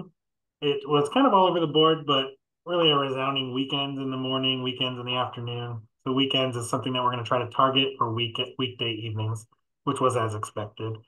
Um, what types of programs would you like to see offered in the future? You can see I had quite a range. Um, you actually can't even see them all here. Um, a lot of health and wellness, uh, a lot of outdoor activities, social events, things like paint nights. Um, what I did here was kind of look, we looked at some, what some other cities offer, um, both large and small, as far as uh, the type of cities they have and recreation programs. Um, but yeah, it was across the board, all kinds of programs. A lot of interest. Um, you can see different way of uh, showing the figures here. Yeah, historical societies to do it. Yeah, actually, that's that's a The cemetery, Mike, we're talking about the cemetery. yeah, that's what I thought. That was actually something I participated in one in Santa Rosa back when I worked in recreation there. They're they're hot ticket um during Halloween and whatnot. But actually, Oh, yeah. something I kind of thought we'd work with maybe CPAC. Um, there's things where there's either tours where it's just kind of informational, but we did one in Santa Rosa um, called Lamplight Tours, which were really popular. They sold out really fast, but basically a theater company similar to CPAC would put on um, not a play, but they they actually dress up like figures, prominent figures in Cloverdale's history, and be up in the cemetery. You would do a walking tour throughout it, and you'd have a tour guide with a lamp, and that's what they call it, lamplight. Um, and they were they were really fun. Um, it was something that I think that working. I talked to CPAC about it a little bit, but in That would be collaboration with them, it's one of the programs that I was interested. The coach of Scottish Watch. Well, yeah, Susan, who's not, who's been on the planning commission with me, she. dre- She did that with historical society, Oh, she dressed up in costume, and she was married to Mark Tuma, remember, Susan, you remember Susan? Yeah, um, and she, she used to, um. Dre- yeah, dress up in period costume and give tours, and it was a fundraiser for the historical. That'd be cool, cause there's so many really old. Well, there's some- Oh, it's it's- fun. It really is. If they can do the one beautiful, other, It's underutilized, I know, it's like, you might wanna go. You'd have to have the, Do you think people would be annoyed with that, like, who would have people buried up there? Sometimes keep them on the trail, there's a trail. keep them on the system. trail. Yeah. Yeah, they- that's why they're that's why they have to be hosted and led. It's not a, but um, one of one of many ideas that we've had that we want to want to look towards. Um, you can kind of see a lot of people were they were able to vote multiple times, just what they were interested in. But there's a lot of interest. Um, how would you prefer to receive information about future recreation programs? Was something that I was really interested in. Um, I was happy to see that our website was pretty high up there. The weekly newsletter was high up there, and social media was high up there those are three things that we can currently and are currently doing. Um, the other ones that the one that got the highest was a recreation guide catalog, which is something that we can try to build. We were looking at something similar, probably to what Windsor does. Um, I don't have an example off the top of my right now, but you probably just put updates, might just put it in Cloverdale Connect. And just, like, these are, you know, the, the current like monthly schedule or, yeah, yeah, and then go, for God's sake, go to the website, sign up. totally. Mike, Mike, also, I've seen it really successful in a lot of towns is those, when it says fun run, I know it's only twenty-seven point eight percent, but fun run, and a lot of the cities came up with, you know, before, you know, on Thanksgiving, you do a turkey trot, and Yeah. eight to whatever, We and had this, we Yeah. had this, yeah. Did we have and this? Rebe- we did not know, and well, they kind of, so Re- Rebecca, Seems like it who used fell to off, be yeah. at the farm, had, had, she's- Parts would be good. that's Yeah, and what. Hector, Hector and I were talking about doing one of those because there's a lot of those fun runs. We want we were thinking of doing a trail run, maybe up in Porterfield Creek. Yeah. Uh, Right. with Some of the running groups that Soda Ranch, Soda Springs Ranch is open to park to park. Yeah, yeah, great. Yeah, they're, and those those kind of fundraisers, like I know, um, you know, I've done a few of them. I participated in a few. They're they're pretty good ways to uh, generate some revenue, but really just to get the community out and about, and they they can be a lot of fun. So that's definitely on our uh, to do. Um, Well, we have, you know, um, some we've just mentioned them, some uh nonprofits who are looking for sources of income. And I think that if we can help them to partner to, then maybe they can be the beneficiaries, if we can be a partner, but they can be a beneficiary on Thanksgiving Day for a turkey trot. Yeah. Or, you know, park, park runs before it gets too hot, or after it's hot. Of course, yeah. Yeah, that, those kinds of things. And so, it- and if we partner with those, those nonprofits that are, you know, looking for some, some revenue, that would be really, good. I think that the community would be excited about, it, and then people would wanna come from outside of the community Right. Yeah. And that's one of the goals with those for sure is to get people from outside to come here and see how cool and. it is. Because they don't need to be like, I mean, the vineyard races is its own thing, the Asti Tour de Vine is its own thing, and they're, they're at a certain level. The Right. fun runs can be a little more cash. Yeah, we're, we're definitely looking for the fun runs at first. Turkey trot. Winter they do it. That's what I'm saying. They get everything from shirts to, you know, and people just ship, they come from everywhere. Yeah, Yeah. it's all over. Like the Porterfield Creek Open Space would be a perfect. Yeah. Park. to- Yeah. to that event. Right. Cause there's different like. Yeah. Trails that are like, first, the two bridges trails not hard, there's like Yeah. easy run, easy hiking. It's just And like, then the- like the it's just third like one, Dixie. there's loops, yeah. It's just as good, I mean, it's just as good as, it's a lot smaller. Yeah. Um, but uh, I mean, it's, it's distant, distance wise, but it's like our facility is just as good as, Oh, yeah. you know, these well established runs. Yeah. We have that open space through near the entrance, we have a little, little barbecue there in the fall. Yeah. Great. Yeah. Weight competition. Uh, One of the things that's not listed. Hey, hold on. Sorry. One of the things that's not listed there that I've gotten a few uh, phone calls on my office, which I think I mentioned to Mike and Kevin last time we met here to talk about this. Survey is a, a puppy, what do you call, a puppy Halloween custom There we go. party thing at the dog park.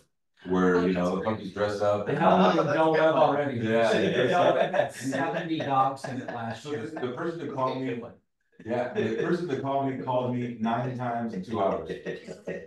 And then I'm like, and I called, I finally called her back, I said, sorry, I was. Let's in a talk to the chamber about. And then I said, I was in a meeting. I said, it's a great idea, I mean, it's a great idea, and you get the, the puppies to dress up, I got, I have a couple dogs, I dress them up, I know, people love it. No, I love it, right? And it's a Well, very- I'm gonna keep us on this presentation just so I can close it because it's our, it's the slide we're showing, and then we can go into a discussion.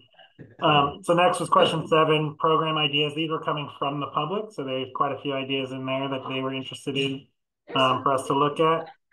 Yeah. Um, question eight, there was additional comments. Um, these were more things that they were looking for in the community, more um, infrastructure wise. So that's, you know, a lot of interest times 12 disc golf course, which we, we were kind of looking at potentially at the new open space, a year round pool, something we had a lot of people interested in, teen center clubhouse, um, public tennis courts was a big one, skate park had a few.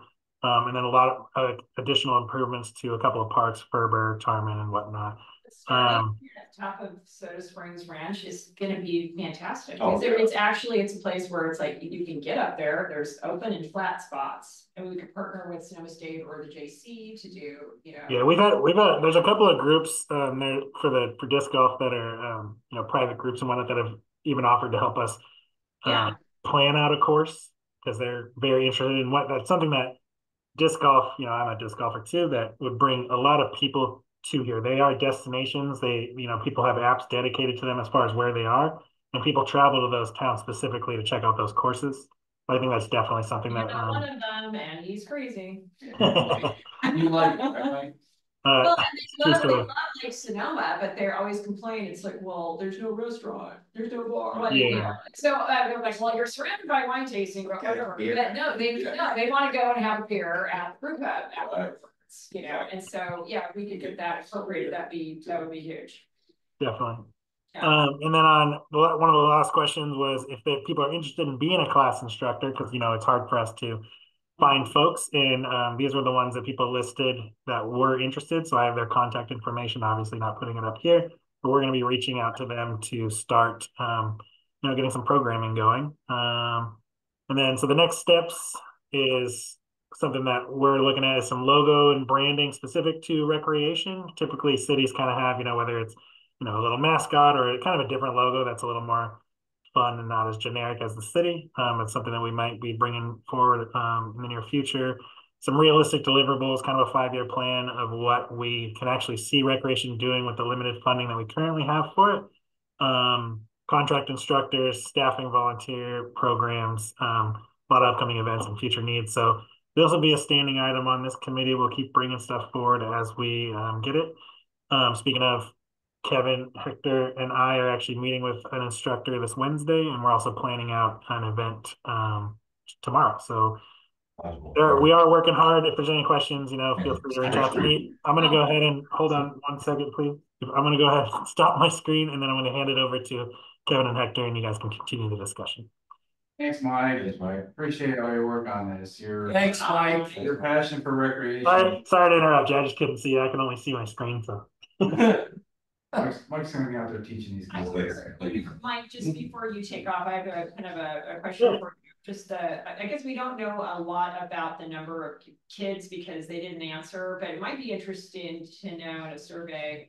Wonder if the number of people leaving town for recreation tracks with the number of people who do inter-district transfers with their kids, and then they just end up doing you know, activities south of here. Um, and that information's in the economic development what's it called, collaborative now? I've, I've never been used to that. Yeah. But it's in the, you know, it's in the, each of the city reports, um, you know, Cloverdale has that highest per capita amount, um, of paying for private school outside of, you know, so it's people. Inter-district transfer. Inter-district transfers and so, which is going to public school as well as private school, so I'm just wondering if those numbers, um, you know, track.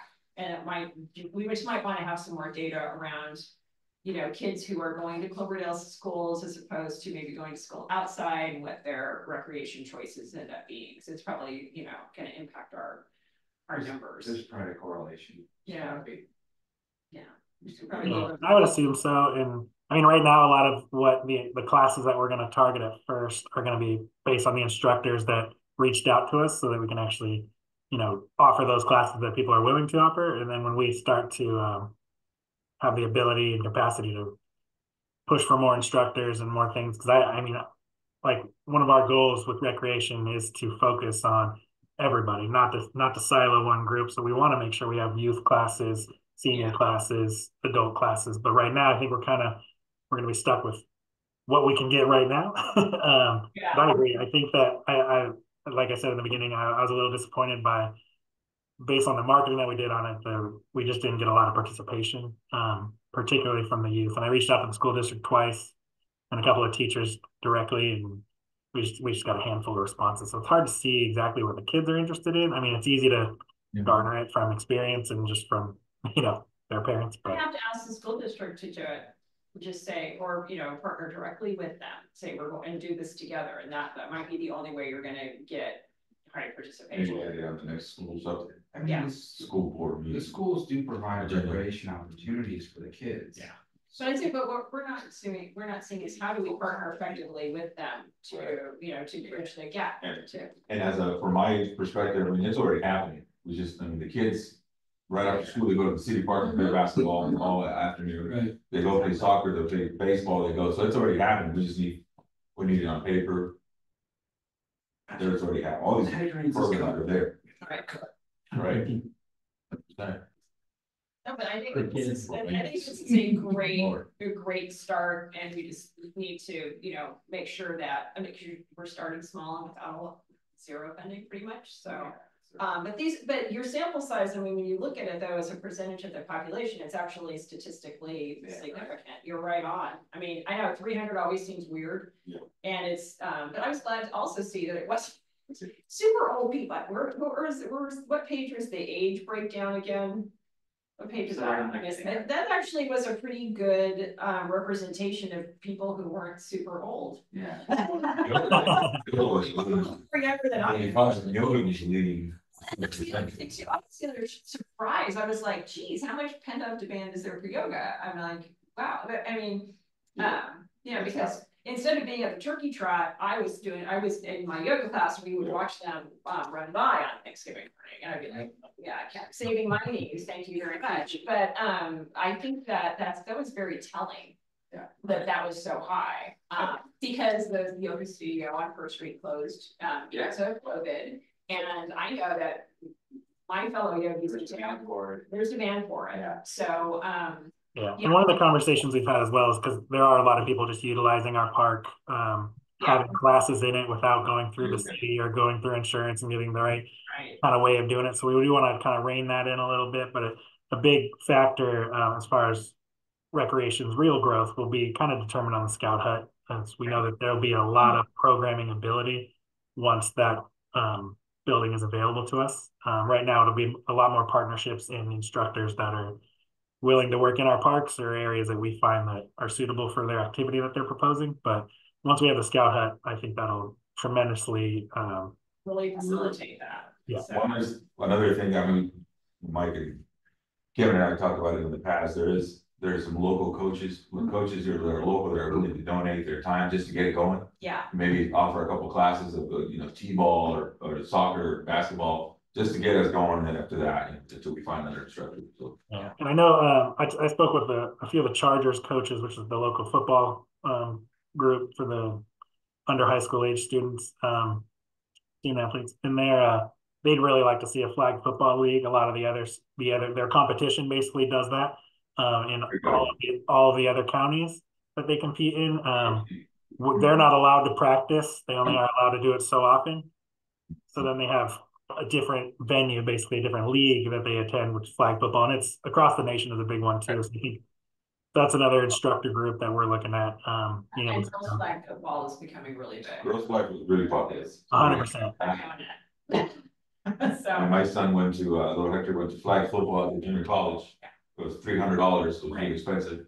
And then right after that, he, you know, jumped to the real football here, but it really helped him out a lot as far as. just- you know, I got a couple of little girls on my list who were like, I wouldn't wanna play against them, they'd be hardcore. Yeah, I got a couple of girls, they'd be fantastic, and There's- it's exactly what they be There's, doing. there's a few girls there on the, on the Oh, football yeah. team, the actual football. Oh, yeah, oh, yeah. Yeah, they, they don't play. Yeah, but I They mean, but no, flag football amongst, you know, amongst eh, high school girls is becoming popular nationwide, so it'd be great to be able to. To jump on that, but great, great job, Mike. This is really some good Yeah. data. Yeah, definitely a team effort. Yoga Happening, right? Yeah, we'll, we'll keep you posted on, uh, the progress with our different classes and different things that are going on, but it is slow and steady because it, you know, we don't, uh, not having a dedicated recreation person, Hector, Kevin and I are definitely putting in as much effort as we can when we can, but we're hoping it'll get off the ground in the next few months to have a few more classes online, get our recreation software really getting pushed down having some more events. So we're meeting tomorrow and we'll be able to give you more information at the next subcommittee. More with, uh. uh, You'll see a lot more progress. Archer. Yeah, Mike's, Mike's bringing it. This is fantastic, great news, great, all right. Well, thank you so much for that, for the update. And we'll move on to item ten. Art, art, art, art. Okay, um. I, uh, what I did was I went back and listened to our last meeting, I, I think I encapsulated what the comments were. Um, differentiating between public and private spaces. Um, I think we can set up, uh, our OpenGov portal. So there'd be clearly delineated, uh, the process where someone can apply. Um, and we can put all the parameters within that application process, it's, we've already got the thing set up, so that should be. Uh, pretty easy, I know it's not as cool as Eureka's, and I went back and looked at that, and I. I tried to incorporate what I could, um, I know they have more staff, I'm not using that as an excuse, but.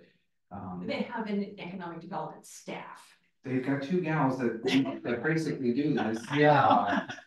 So this, uh. Very different situation. This could change and evolve. I mean, one of the things I was thinking about was in the OpenGov portal. I'm sure, I don't know what the answer to this is, but we always charge a fee, but I don't know that we would wanna do that, so.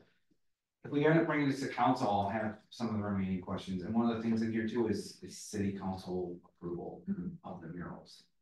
And art, and I know you weren't really interested in that, I just, so I mean, we can amend it if you want, um. I'm not, I'm concerned about the practical uh, Yeah. implementation of this, so, I mean, yeah, so uh, the, the- I'm glad it's still a draft. I, I'm, I'm glad, I, I, I know you, I know you worked on it and you have much bigger. Um, things that you're currently occupied with, however, I was, one of my observations is that I still feel like I, I, I'm glad that it's been a long, it's been several weeks since we really talked about it or reviewed it, because I kind of got to review it with, with, um, with fresh eyes. And I'm just reading it and I'm just like, this still does not make sense to me. I'm sorry to be so, I'm sorry to be so harsh, but it really is not clearly delineating between here's the city's program, here are the city-owned utility boxes, here are the city-owned, you know, potential murals, and this is the process for it.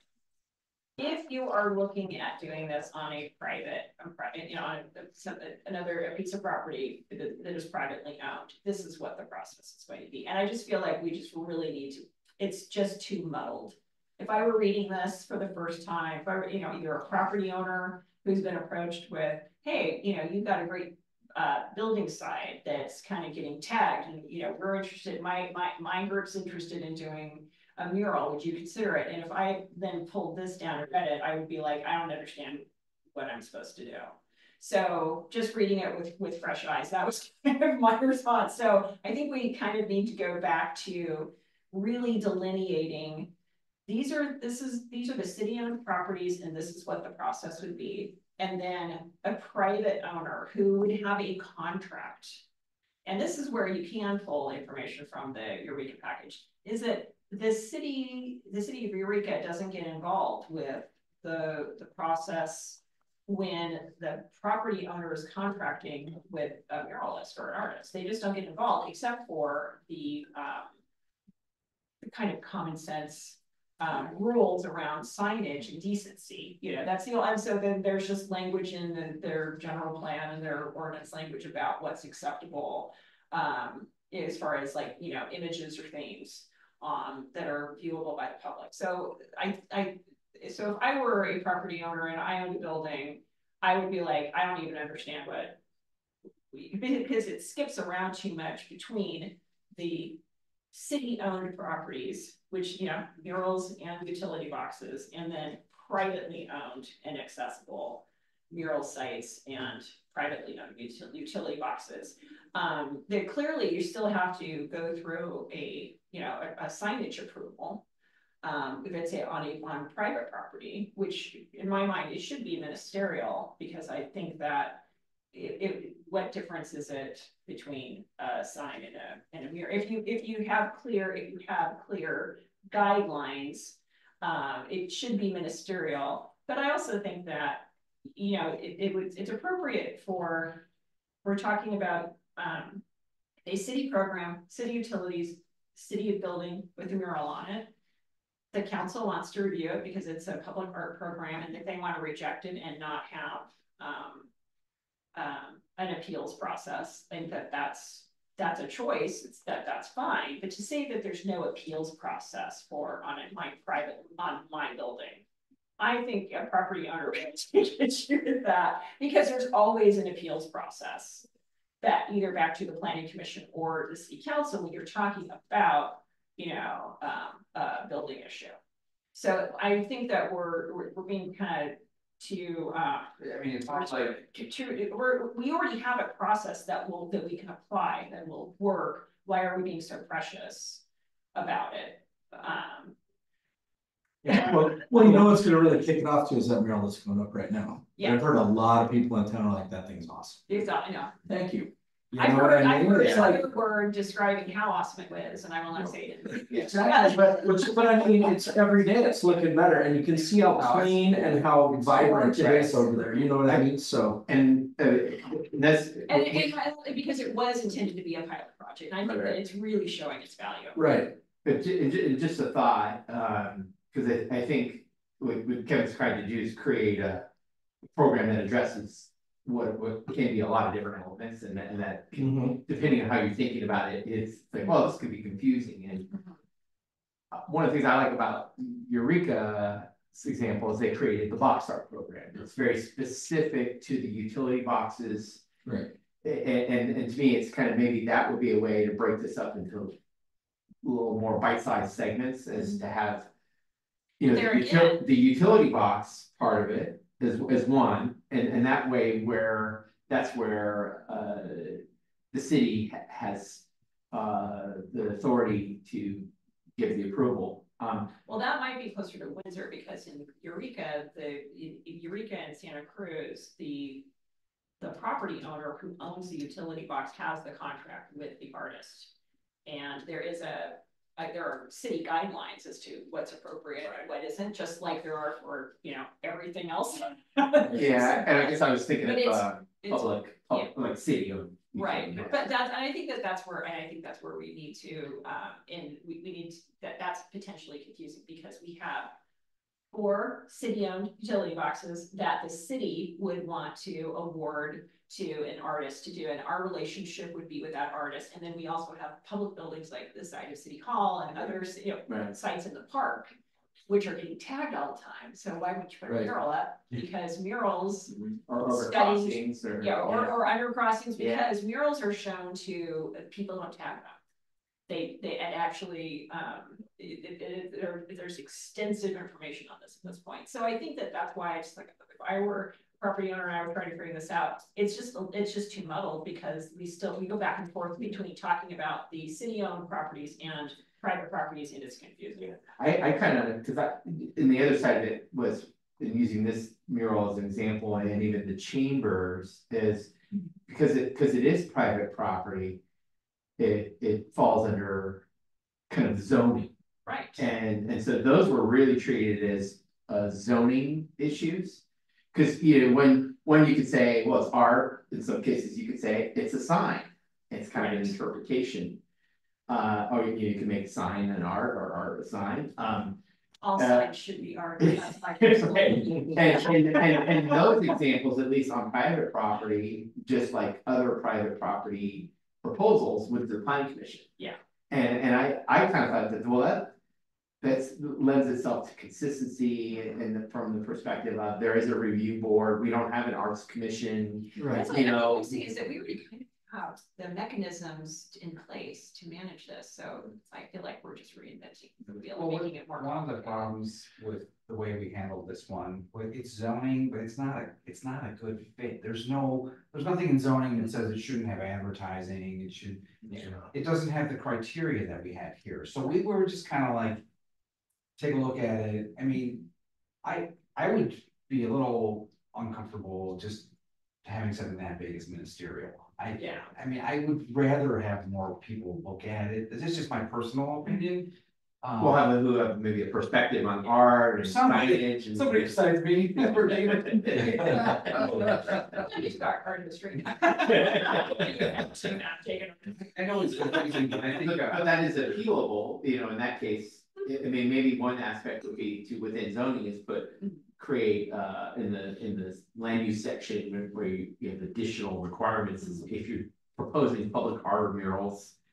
Here's the criteria. Right, and and I think that the appealable part is important, because what if there were, you know, one of the letters that somebody took issue with the content and like, like, oh, that's. Not appropriate, or that's, yeah, then the artist can, can hear that feedback and just make a change to it, so I think that that appeals process is, is important. Um, just give, give the artist some feedback. do you think, Or that looks too much like Healdsburg, or whatever people are concerned, you know, whatever people are concerned about, it's like, oh, that doesn't represent Cloverdale to me, what about? Do you want the, to um, image? the council to review the ones that go on the utility boxes that we own? I think that that's a little excessive, but that's my, that's my opinion, um. Cause we've reached out to the other utilities, we haven't really, anyone get much Let's logs, do- just pain, I guess. Let's just worry about, I think that, like, like, and we have a city program for city property, and then there's a process for private property. And there's the process, and the contract, the whole idea, the the reason I think it came out of the economic development board at, or the ec- economic development. Um, department in Eureka is they really see it as a, an economic development issue as well as dealing with, you know, just persistent graffiti and all kinds of issues, and then, then it gave. Um, when you have a private property owner who has a contract with the artist who does the work and then is, gets a small, gets a stipend to maintain it over five years or whatever the period of the contract is. It gets, it's a way for local business to support local artists who, by the way, are also businesses. No, I, I get it, I just, I mean, that, under that scenario, that would, so so that would, that could have been mm-hmm. just done without anybody looking at it at all. Mm-hmm. I mean, is that? Well, no, I think it would have, I think it would have come to, I think it would have come to the desk, and if there were concerns, then it would have gone to a planning commission, I, that's what the planning commission is there for. Yeah, I mean, I, that's one of the remaining things in here. It says the city council will approve these. I mean, it could say planning commission. Well, yeah, I, there, there got, there's gotta be a, there's just gotta be a common sense, um. Template to apply to this somehow, is that if it is in, you know, a, a open space, if it's over, if it's over a certain size, then it would, you know, we would kick to the planning commission, but if it's a small, discrete. You know, um, mural, then, um, it could be ministered. I, I don't, I'm just, I, Yeah, I I'm, not- you. I'm not saying that I support either one of those, I'm just saying there's got to be a common sense reasonable solution so that you don't have. I mean, maybe they, maybe they apply through the portal, Mhm. then we look at it. Yeah. And we make a determination, but we'd have to put something in here, I would imagine. Some sort of criteria, it's this size or something that. Yeah. I, again, I just, I, I feel like, uh. You know, proving it ministerial. You know. Put you on the hot seat. Yeah. that's what I'm trying to say. Who's You. It was your fault that that, you know, Yeah. well, and I think that, you know, the, when I, I, and probably where your primary concern is probably the first. Um, iteration of the Starbucks logo is a really good example, that is not, that has been modified. It mean, used to it- be a bare, it used to be a bare breasted, uh, mermaid. Yeah. It is now not a very, she, Right. she got a bikini top, you know, so I, I think that that's what you're talking about, and I completely understand that, What about a, if they're small, a subcommittee approval? yeah. Send it to plan, planning and Yeah. sustainability, absolutely. And then. Are there any red flags that have come up? Yep. And people, and then members of the public can come and say, you know, that's offensive, or I'm concerned about whatever, and they can say it, but then. I mean, I think the criteria is good, it's, you know, there can't be any advertising, they have to have it within a year, that's weatherproof. Right, All of that, so then I would just have to think about the application process, which I put in here using the city portal. Uh, and then it would just, maybe there'd be another line that says. So that would be based for the on- city utility boxes, right, would be no advertising.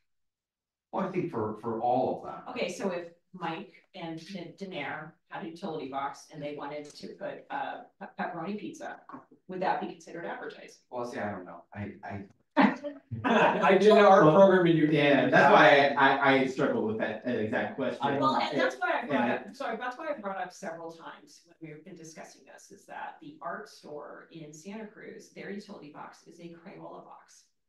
Which is totally cool and fine. Isn't that We cool? don't wanna make a big But deal out aren't you it. advertising one of their products? So I mean, so I, I, I'm, I'm, I'm putting you on the hot seat. so Yeah, I don't too- know, too. Melanie, I really don't, Yeah. I, it's, I, you But know, that's the thing is. I don't know, really, I don't. Well, that's, a- that's, a- I think it's a common, I think that's a common sense question, is that, that's, and that's the problem, is, if- and that's the problem with conflating. The city program with a private program, you've made, kind of made my point for me, is that city program shouldn't have anybody's advertising on it.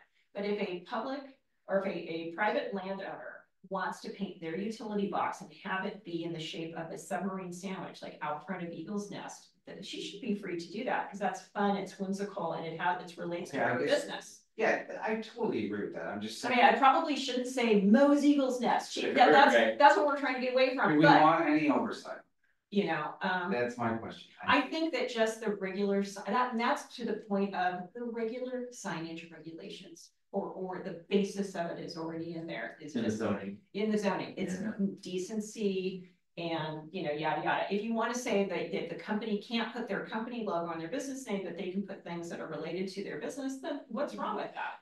Cause we were. Dance studio wants to put little dancers, Well, I think all well, those are great ideas, I just Yeah. wanna know if you guys wanna take a look at it before they do it, I mean, that's kind of I, it. I think that you guys do that all the time, and if there's a question, why don't you kick it to the subcommittee? One of, one of the, uh, Madam Chair, one of the examples that I, I thought about in the framework of this program was the trading post. Mhm. Cause Yes. they had the wall sign, Which they did not get permission. they did not get permission, and, and, and it was, it was partly artistic, it was partly. It was also- Western thing, but then it had trading posts, you know, it was an advertisement, so that's what we were. And at, at that time, we said it required a sign permit. Sure. And, and so that's why I, I was kind of thinking with murals, you know, it's like. Businesses rightfully so are always thinking of creative ways to, uh, market promote their business and, and, and. You know, one thing is just pure art, uh, but where do you draw the, the line? I say, well, that's advertising and art, so it's kind of like, if it's on private property, go to planning commission, Mhm. and it's a pretty simple It's process. a sign, it's, it's a sign question. It's a, a, a kind of a sign slash art permit, and if it's on a public utility. Then it's really, we can create this, these guidelines and say, hey, if you do these things, it's a real simple. Yeah. Uh, online. That's what I'm, fee that, that's permit. what I'm interested in seeing, is something that is just completely separate. And then when businesses want to contract with an artist to, to paint their utility box or to do a mural, you know, and I think sadly too, that you see examples of really beautiful. Old signs that Cloverdale unfortunately has lost, but if you go to Petaluma or, you know. But you go, you know, some of the older, like the Levi, Levi's Totally. jeans signs that used to be on the sides of buildings, the, you know, shade cream uh, advertisements. Those are, they're now appreciated as really being art Mhm. and they are being preserved, but if you were a business now. There isn't a city that would allow you to put a, uh, advertising like that, Right. so I think that that's kind of what we wanna balance here, is just like, let's just use some common sense. No, I, I- I'm totally, I'm not trying to complicate this thing, honestly, I just wanna get, get it to where you're, you know, satisfied with it and we can get this thing up and running. I mean, one of the things about, and I'm not trying to go over, it, like it, a, a sign permit is generally on the property of the, so it would be, you know, I don't know, off-site sign, so if it's. Just using, processing it as a sign permit, if it's not on the building of the business, it's an Well, off-site it sign. could be, but it could be the property, that's not a anyway, problem. it may not have anything to do with the business that's occupying it, it could be the, the property owner saying, I'm sick of that. Big old wall being tagged, I wanna create, I wanna put a mural out there. Um, why should we, why should we make it so? We, we complex could, onerous? if we agree on this and get this adopted, Yeah. you know, we could say, okay, there's these four. Utility boxes in town, Mhm. and then open it up with some kind of, Yeah. I think that's. Publicity. Yeah, do an art, do, do a, do an RFP, and David can approve it. yeah, there you go. I think it's the community development director. There we go. What, if- now, what if, what if we, we said that, we said, okay, we got these four boxes, submit your thing, here's the criteria. And that's we bring them our, here. and that's our. Then program. review the. Yeah. art. That's And our we bring program. to you Bring guys it- on bring it this to the subcommittee, bring it to the sub, because it's our program, it's our program, any of the, any, any murals in parks on buildings, those, those are our programs, we have control over it. You'll- But we also need to facilitate and make it easier I, for private, because this is, this is not going away. There's more and more public art. Eureka is going gangbusters. Yeah. Middletown is now going to be painting their water towers and they're, they look amazing. So I mean, this is something that, that, that this was, this was not something that's, I mean, I brought this years ago to the council. I've been trying to get this done years ago. Meanwhile, that mural is happening in spite of us, not because of us. Yeah. That beautiful addition to the city, that was the, that's an upswell from the community. There's tremendous support for it. There's a thirst for it. So let's get our act together and make it, Make it happen. make it happen and make it as I'm not, easy as believe possible. I am not trying to make this complicated. I realize. I know, I just want Just to do it. Okay. Yeah, you're in the middle I'm of gonna say, I'm gonna say the utility boxes are gonna be approved by the planning, that's. our utility boxes. Yeah. Our utility boxes and our murals are handled by the city. Yes, Yes, the subcommittee, yes. by not the even the city. planning, you Yeah. guys. Subcommittee, and then the, there will be a process for the applicant, for the approval. And let's, let's just do them the courtesy of including those free contract templates that the property owner and the property owner artist can get the heck out of the middle. Get out of the way, Again, I'm not gonna, make Well, like Ronstadt, Yeah. put the Eagles together and step out of the way. Oh. I might be calling you, I'm gonna start. Okay, I- I'm gonna- I, yeah, I have your caller ID and I know not to answer. Or anything else on, but, but I mean, but, but this is a labor of love and I appreciate all the time you're putting, and also helping them kind of create the airplane as they're trying to fly it, so you've, it's been nothing but responsive. and Well, and- so. We're gonna, we're gonna assist with, uh, the plant installation and the mulch installation. Oh, wonderful.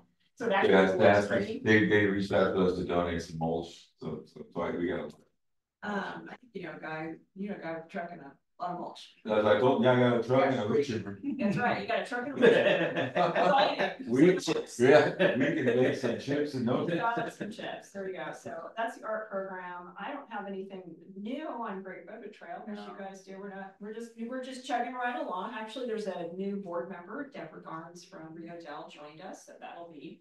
Um, she'll be a wonderful addition, um, I don't, you know, um, and then item twelve, regulation size pool, just for the record, this is where I, this is one of the things I leave Cloverdale for, I go to the Healdsburg pool and do my last one. so. Um, it would be great if we could, at, at some point, partner with the school district, so we actually had a regulation size pool. And that, and that, uh, this item is on the joint city school subcommittee agenda, Great. so I don't know if you wanna leave it here or. I'm gonna, let's, let's leave it on both, Okay. and, uh, hopefully, you know, we'll get somewhere on that someday. Uh, that's how, that's how projects happen, right, David? Someday. One year. Twenty years later, so here's cool. Okay, and then, um, oh, Kids Park Day, we have an update, Kids Park Day. Yeah, so we had, so we, you know, we had that, uh, we had a very successful, uh, Kids to Parks Day on May eighteenth. Very successful with the Boys and Girls Club. And, uh, we got a lot of positive feedback from the community and we're hoping to keep the same projects with this next year. And what I was planning on doing. Do it every year. I was planning on doing is, um, I wanna work with, uh, Lee Land, the, the sheep raiser, to see if we can have the sheep for that, Oh, for May eighteenth. Which that'll be. a- Maybe we'll have them there by then. Yeah, yeah, so yeah, the, it'll be about the right time when the, the grass starts kind of drying out, it'd be a good time to get those. Get them in there, so that's the We plan. could just have a neighbor date with him, couldn't we? We could just have a lockbox and a neighbor date. Yeah, we got a couple. Basically, couple he's the weeks. best. yeah, yeah. okay. Yeah, so he's, uh, so that's the plan for that, I'm thinking, that, you know, maybe this year was very successful, it was, once we made it to the top. Uh, we had, some- we had some watermelon and some, some lemonade and some refreshments, and we took some great We had pictures. some hardcore hiking kids that wanna ride Right. far. Kids are like four years old, they're like, I wanna go to that trail, I'm like, I'm older. Yeah, so. Goats I out. got my side by side, go ahead, no. I'm so bad. No, congratulations on implementing that, that, and it's a nationwide event, and that's why Great. we don't do it every single year, make sure Yep, it was kids great. know about that work. That's So great. This year, we're gonna add the, the, uh, grace, uh, all the sheep grace zoo component to it. Do you think that by next May, we might have the scout hut? Uh, there is a little bit to report on that, um, we're entering into a small contract with an architect who's gonna. Do some preliminary stuff, I think it was only like ten, ten thousand, uh, so they- He's gonna interview us on the programming needs of it, assess the electric, he did a couple other things. Yeah, it says electricity, he's gonna, he's gonna assess, uh, he's gonna pretty much do a a whole entire inspection of the building to see what, what condition it is now. Yeah. Um, so Do we you need got to update the panel all that, yeah. Yeah. We do that. Still have those screwing fuses. They do. Oh my god. So we're gonna, so we're gonna. On the tube wire. Yeah, so we've got a, a scheduled meeting coming, I'm gonna provide with some ladders, and I'm looking at some, the electrical. Um, then we've already had two or three meetings, so we're hoping to create this project. but- Oh, so we've got uses for that, so. Oh, yeah. that's- That's wonderful. Parks office is gonna be the first thing we're gonna build. Hey, um, Hector. Hmm. Are you able to touch on, um, just because it was a future agenda item last time was the Adults to Parks Day? Um, which is, I know we're mostly talking about Kids Parks Day here, but we wanted to, uh, do you have any update on a potential Adult to Park Day? Well, we talked about it, we, thanks, Mike, uh, so we talked about it before the May eighteenth event. To do a combination of, of uh, an adults to park day and then a kids to Park day on the same day. We're hoping to do a, uh, the first hike at ten o'clock, if I remember right, and then the second hike at about eleven. Eleven thirty, but once we got there, we figured that we determined that most of the kids were with their parents and there was, you know, and their grandparents, and so. We, uh, but I think it's a great idea. We ended up just doing just that one hike. But, uh, I think it's a great idea. I think it's a great idea to do that. I think we should, we should do it maybe on the same day. Like we had planned originally, it was your idea to have it early in the morning for the kids or vice versa, and later on in the evening. Depending on weather. Depending, correct. That was actually really nice. It wasn't too hot, so. Yeah. But no, I think it's, I think it's a possibility. It's a good- It's a good thing. Maybe we can do it at the other park as well. Yeah. Porterfield Creek, it's cooler. Yeah. It was just agendized, I just want to make sure you touched on it. Thank you. You, I had a question, I lost it, but I'll come back. Oh, um, and I'm sorry, I don't think, we, we can find a way to make this work with the agenda. Do we, do we have a kind of estimate on opening date for Soda Springs Ranch? Well, we, uh, I are mean, still working like, with the Open Space District on go back to finalizing Next May. On that and I, and I think the, um, the. We, we need to get that finalized, uh, one of the critical elements that we received. In the, we, we got a response to our, uh, request for funding, and it, it did not include some critical elements.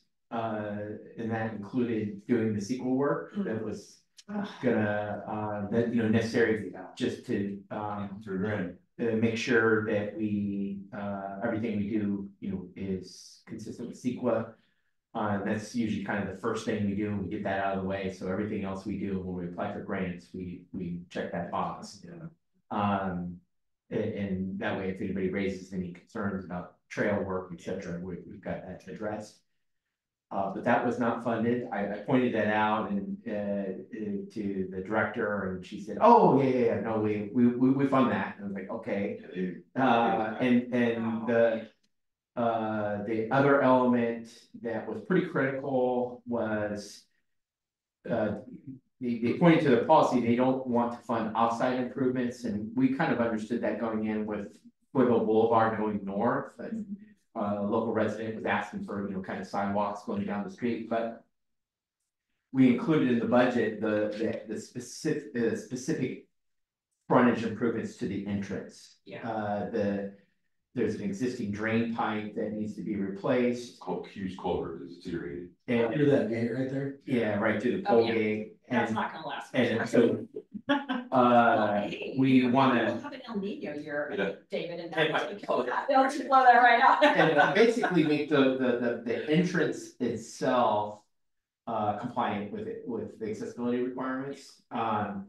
And I understand they don't want, off- they don't want to fund offsite, but there's some level of improvements, just at least from the, the cross, from the. The corner to there with crosswalk and truncated domes and entering to get people to the parking lot area. Uh, and that's no different than what we did at Porterfield. We have ADA parking, um, you know, the the accessible path, just, just the basic elements, because I know that's used, uh. It's used a lot, and not only, not only for ADA, like, you know, uh, and all that was on our. uh, Original, additional, uh, original endowment request, funding request, request to them, that they, they They wanted more details. More on it. details, so, so, and not only like for ADA, I- if, once we open the park, there's gonna be ADA vans, they're gonna drive to that culvert. Yeah. Drive Oh, yeah, the they're park not- to it's park, not- Yeah, the Um, existing infrastructure cannot support the. right, and if you anticipated think use. about it, it's really inside the park, it's not outside the park, it's inside the park property. That culvert, so, Yeah, and then, uh, I just have our fire trucks, you know, Yeah. with all the vegetation management fire trucks, you know, with our wood chipper, our self trucks, so. Um, since then, uh, we met with Vanessa Apodaca out there, uh, to get some additional information and to kind of fine tune our answer to them. We, um, I just checked with Vanessa before the meeting and she said she's gonna get us the information, you know, in the next. a more couple detailed engineering estimate. so And then that- asked about that way to kind of fine tune it and just, yeah. We want to go back with the, with, I mean, I, I think it was an oversight on their part to not include in their, their funding approval CEQA piece. Because Mhm. I, you know, said that that's a precursor to everything we do. Uh, and, uh, the, Getting the frontage improvements, which are so critical. Those two Should you things. Maybe get Gore's office involved at this point and make sure that that happens. Yeah, we, we certainly can. Let's We- do that. We wanted to, we- make sure It's we, we have all the info ready to go, and then Right. we'll, we'll certainly include his aid in that. Yeah, and I one of- think Chris Grable would be very um effective Yeah. at, um, and be, yeah, and just see it. Um, that we can't, you couldn't even have a fire truck make five trips over that culvert and have expect it to, to sustain that, so. I think it's time to get the supervisor's office involved. Yeah, we were, uh, I immediately expressed disappointment. We were shocked. Yeah, we're all shocked. I mean, you, did Fifty you, bucks gonna come? I mean, it is- it seems almost like. Well, see, that's the difference between you guys and me, you guys are like, oh no, and then I'm like, call Gore. Right now. Another, another, That's always a fight. Another, another item that they completely left out was the vegetation management, Yeah. uh, funding that we requested. I mean, they didn't, they didn't even touch on that, it was like zero, is it, you know, so it's like, uh. You know, that's, uh, I, it makes me think that they didn't even read the application, I don't know, because then they, they forgot CEQA, I mean, Again, again, yeah, just. I call so anyways, so Vanessa, would be great. uh, Vanessa, we met Vanessa, Vanessa's gonna send us. Uh, with a more detailed kind of. Not including the aid, the, the, I guess the sidewalk that we were originally thinking of building to the city park over to it. Just have like minimum ADA requirement, just to get that culvert replacement, because the, you know, that I also- culvert I would replacement is also great. I would also call Chief Jenkins and say, this is, you know, these are some of the issues that were, and it, it, it- support from the fire district saying this is an essential part of our strategy. Yeah, how are we gonna get in here? You, yeah, this is, Yeah. I would get his input and, um, the, with that and Gore's office and just saying these are absolutely essential, um, that you fund these upfront. Because again, the city of Cloverdale is taking on a regional parks, um, level responsibility. And this, this is a multi-pronged issue.